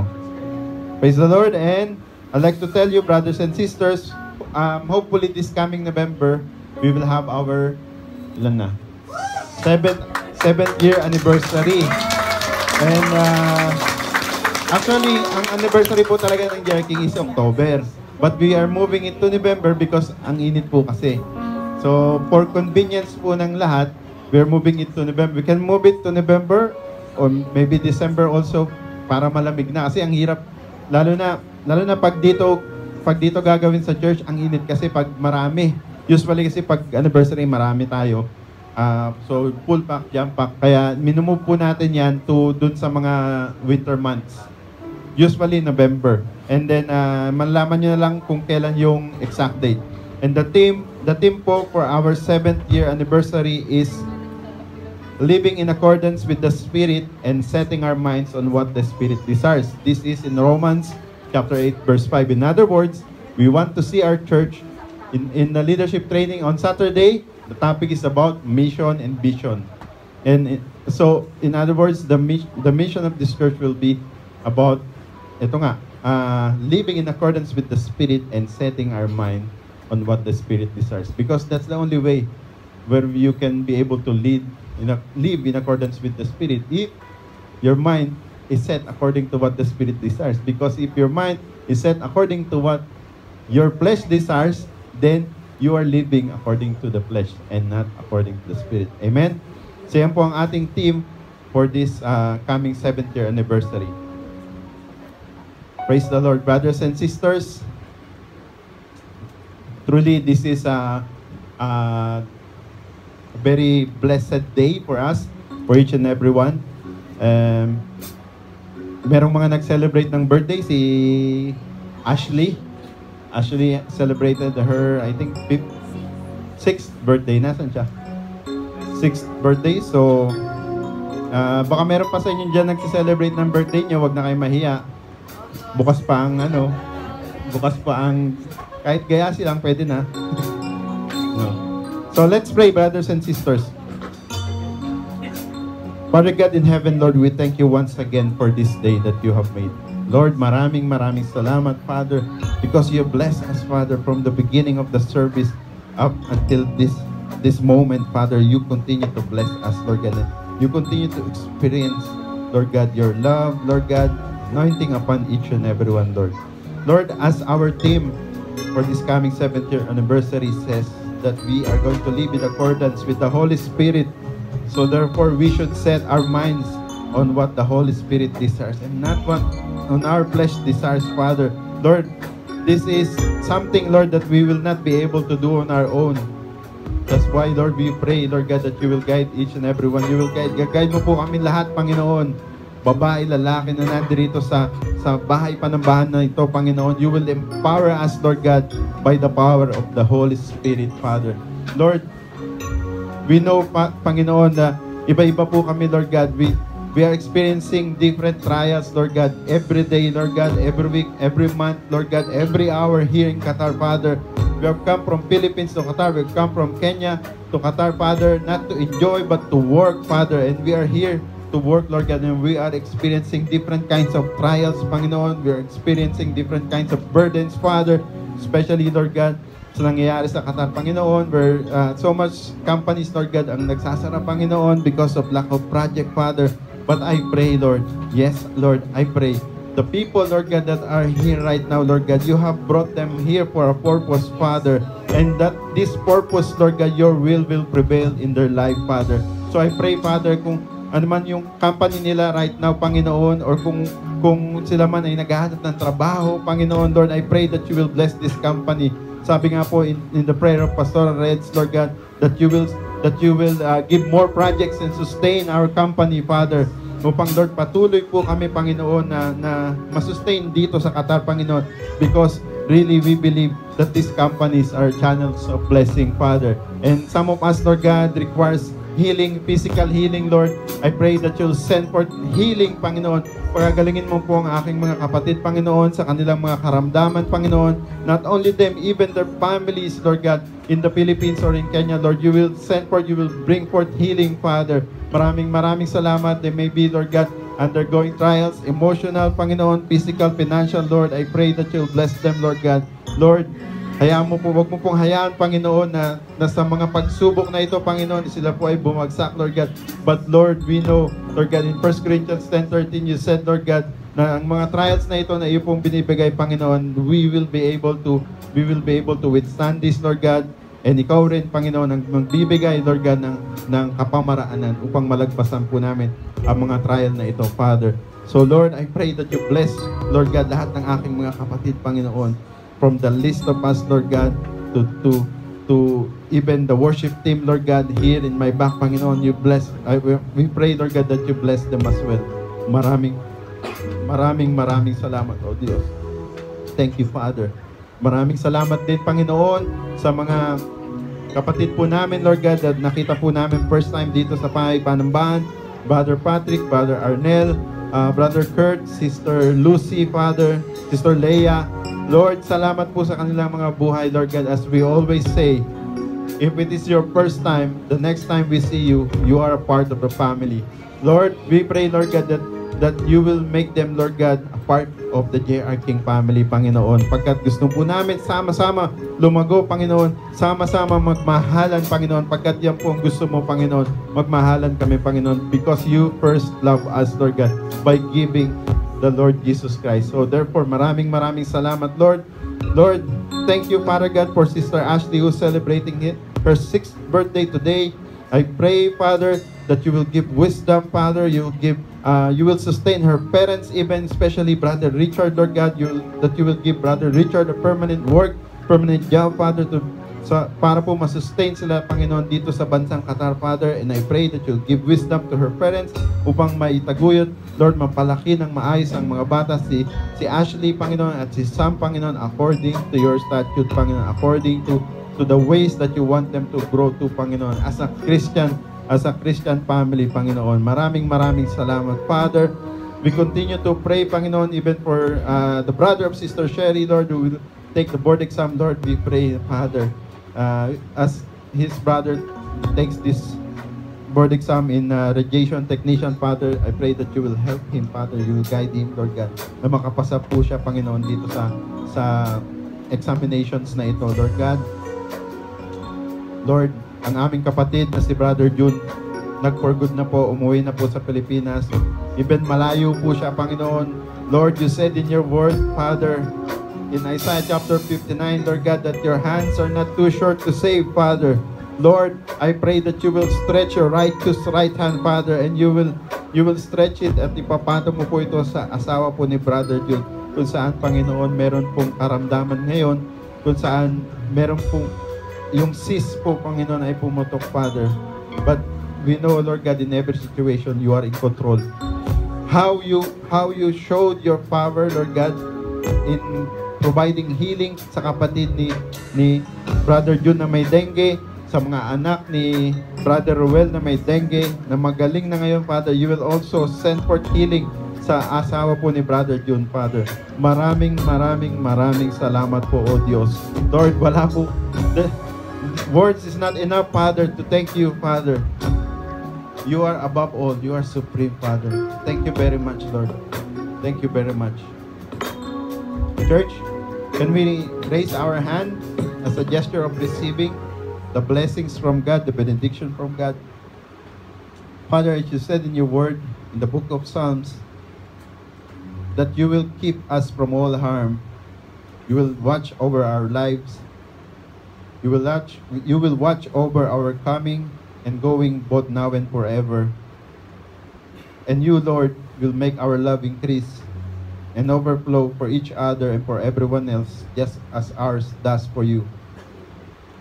You will strengthen our hearts so that we will be blameless and holy in the presence of God the Father when the Lord Jesus Christ come with all his holy ones. And in Philippians chapter 4, chapter 4, verse 7, you said that the peace of God, which transcends all understanding, will guard our hearts and our minds. In Christ Jesus we pray. Amen and amen. Praise the Lord, church. Praise the Lord. Praise the Lord. Uh, awit po tayo. Uh, sister, okay na ba yung food natin? Eh, ano na po natin? Pasok na natin yung mga, mga kapatiran, mga kalalakihan tulong na po, pasok natin yung food. And uh, praise the Lord, awit po tayo and magkamayan po tayo, kamustahan po tayo in the name of Jesus. Amen. Ay, ano, ay, ano pala, di, di mangangamba, mag-face ako. That's it.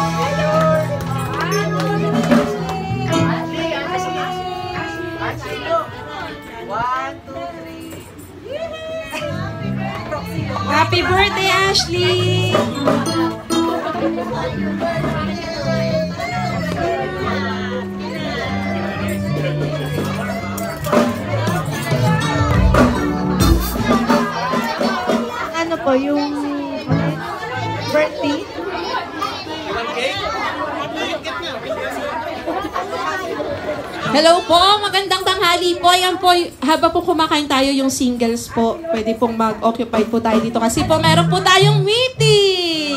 Yay! See you all po. Thank you.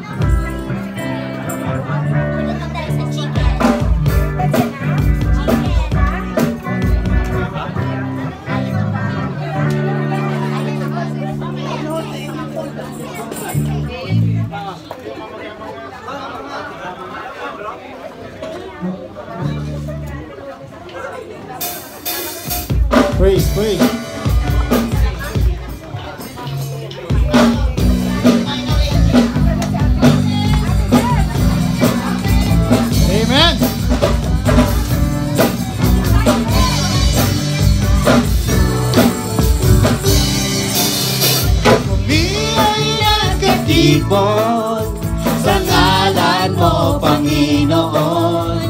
Ang lahat ay nagdiriwang Ikaw ay kapiling ngayon. Umuulan ang pag-asa Kami ay nagkakaisa. Ano man ang aming katayuan Inibig mo ng lubusan. Sabay-sabay Sabay-sabay nagagalaw Sa indak ng papuring ito.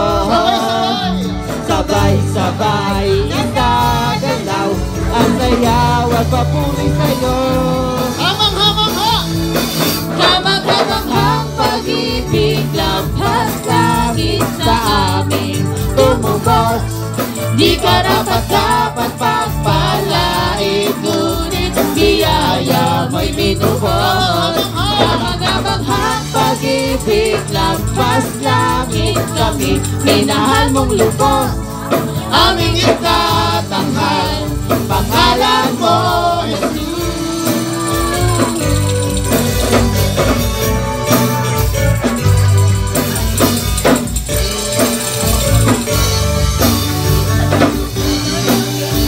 Kami nagtitipon!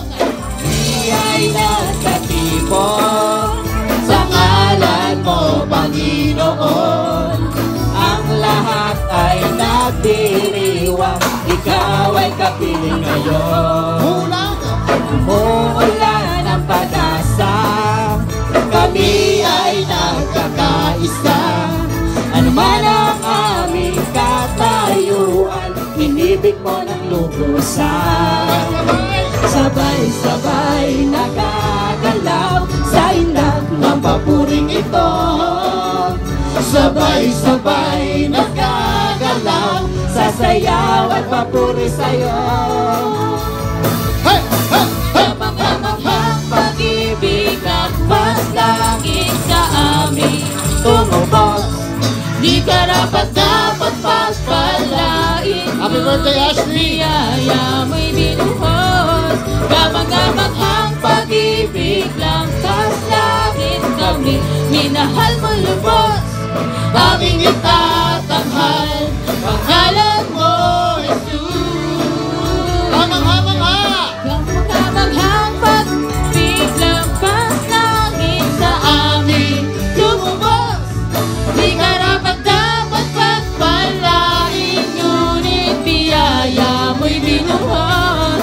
Kamang-hamanghang pag-ibig Lampas langit Kami minahal mong lubos Aming itatanghal Pagkalan mo, Jesus.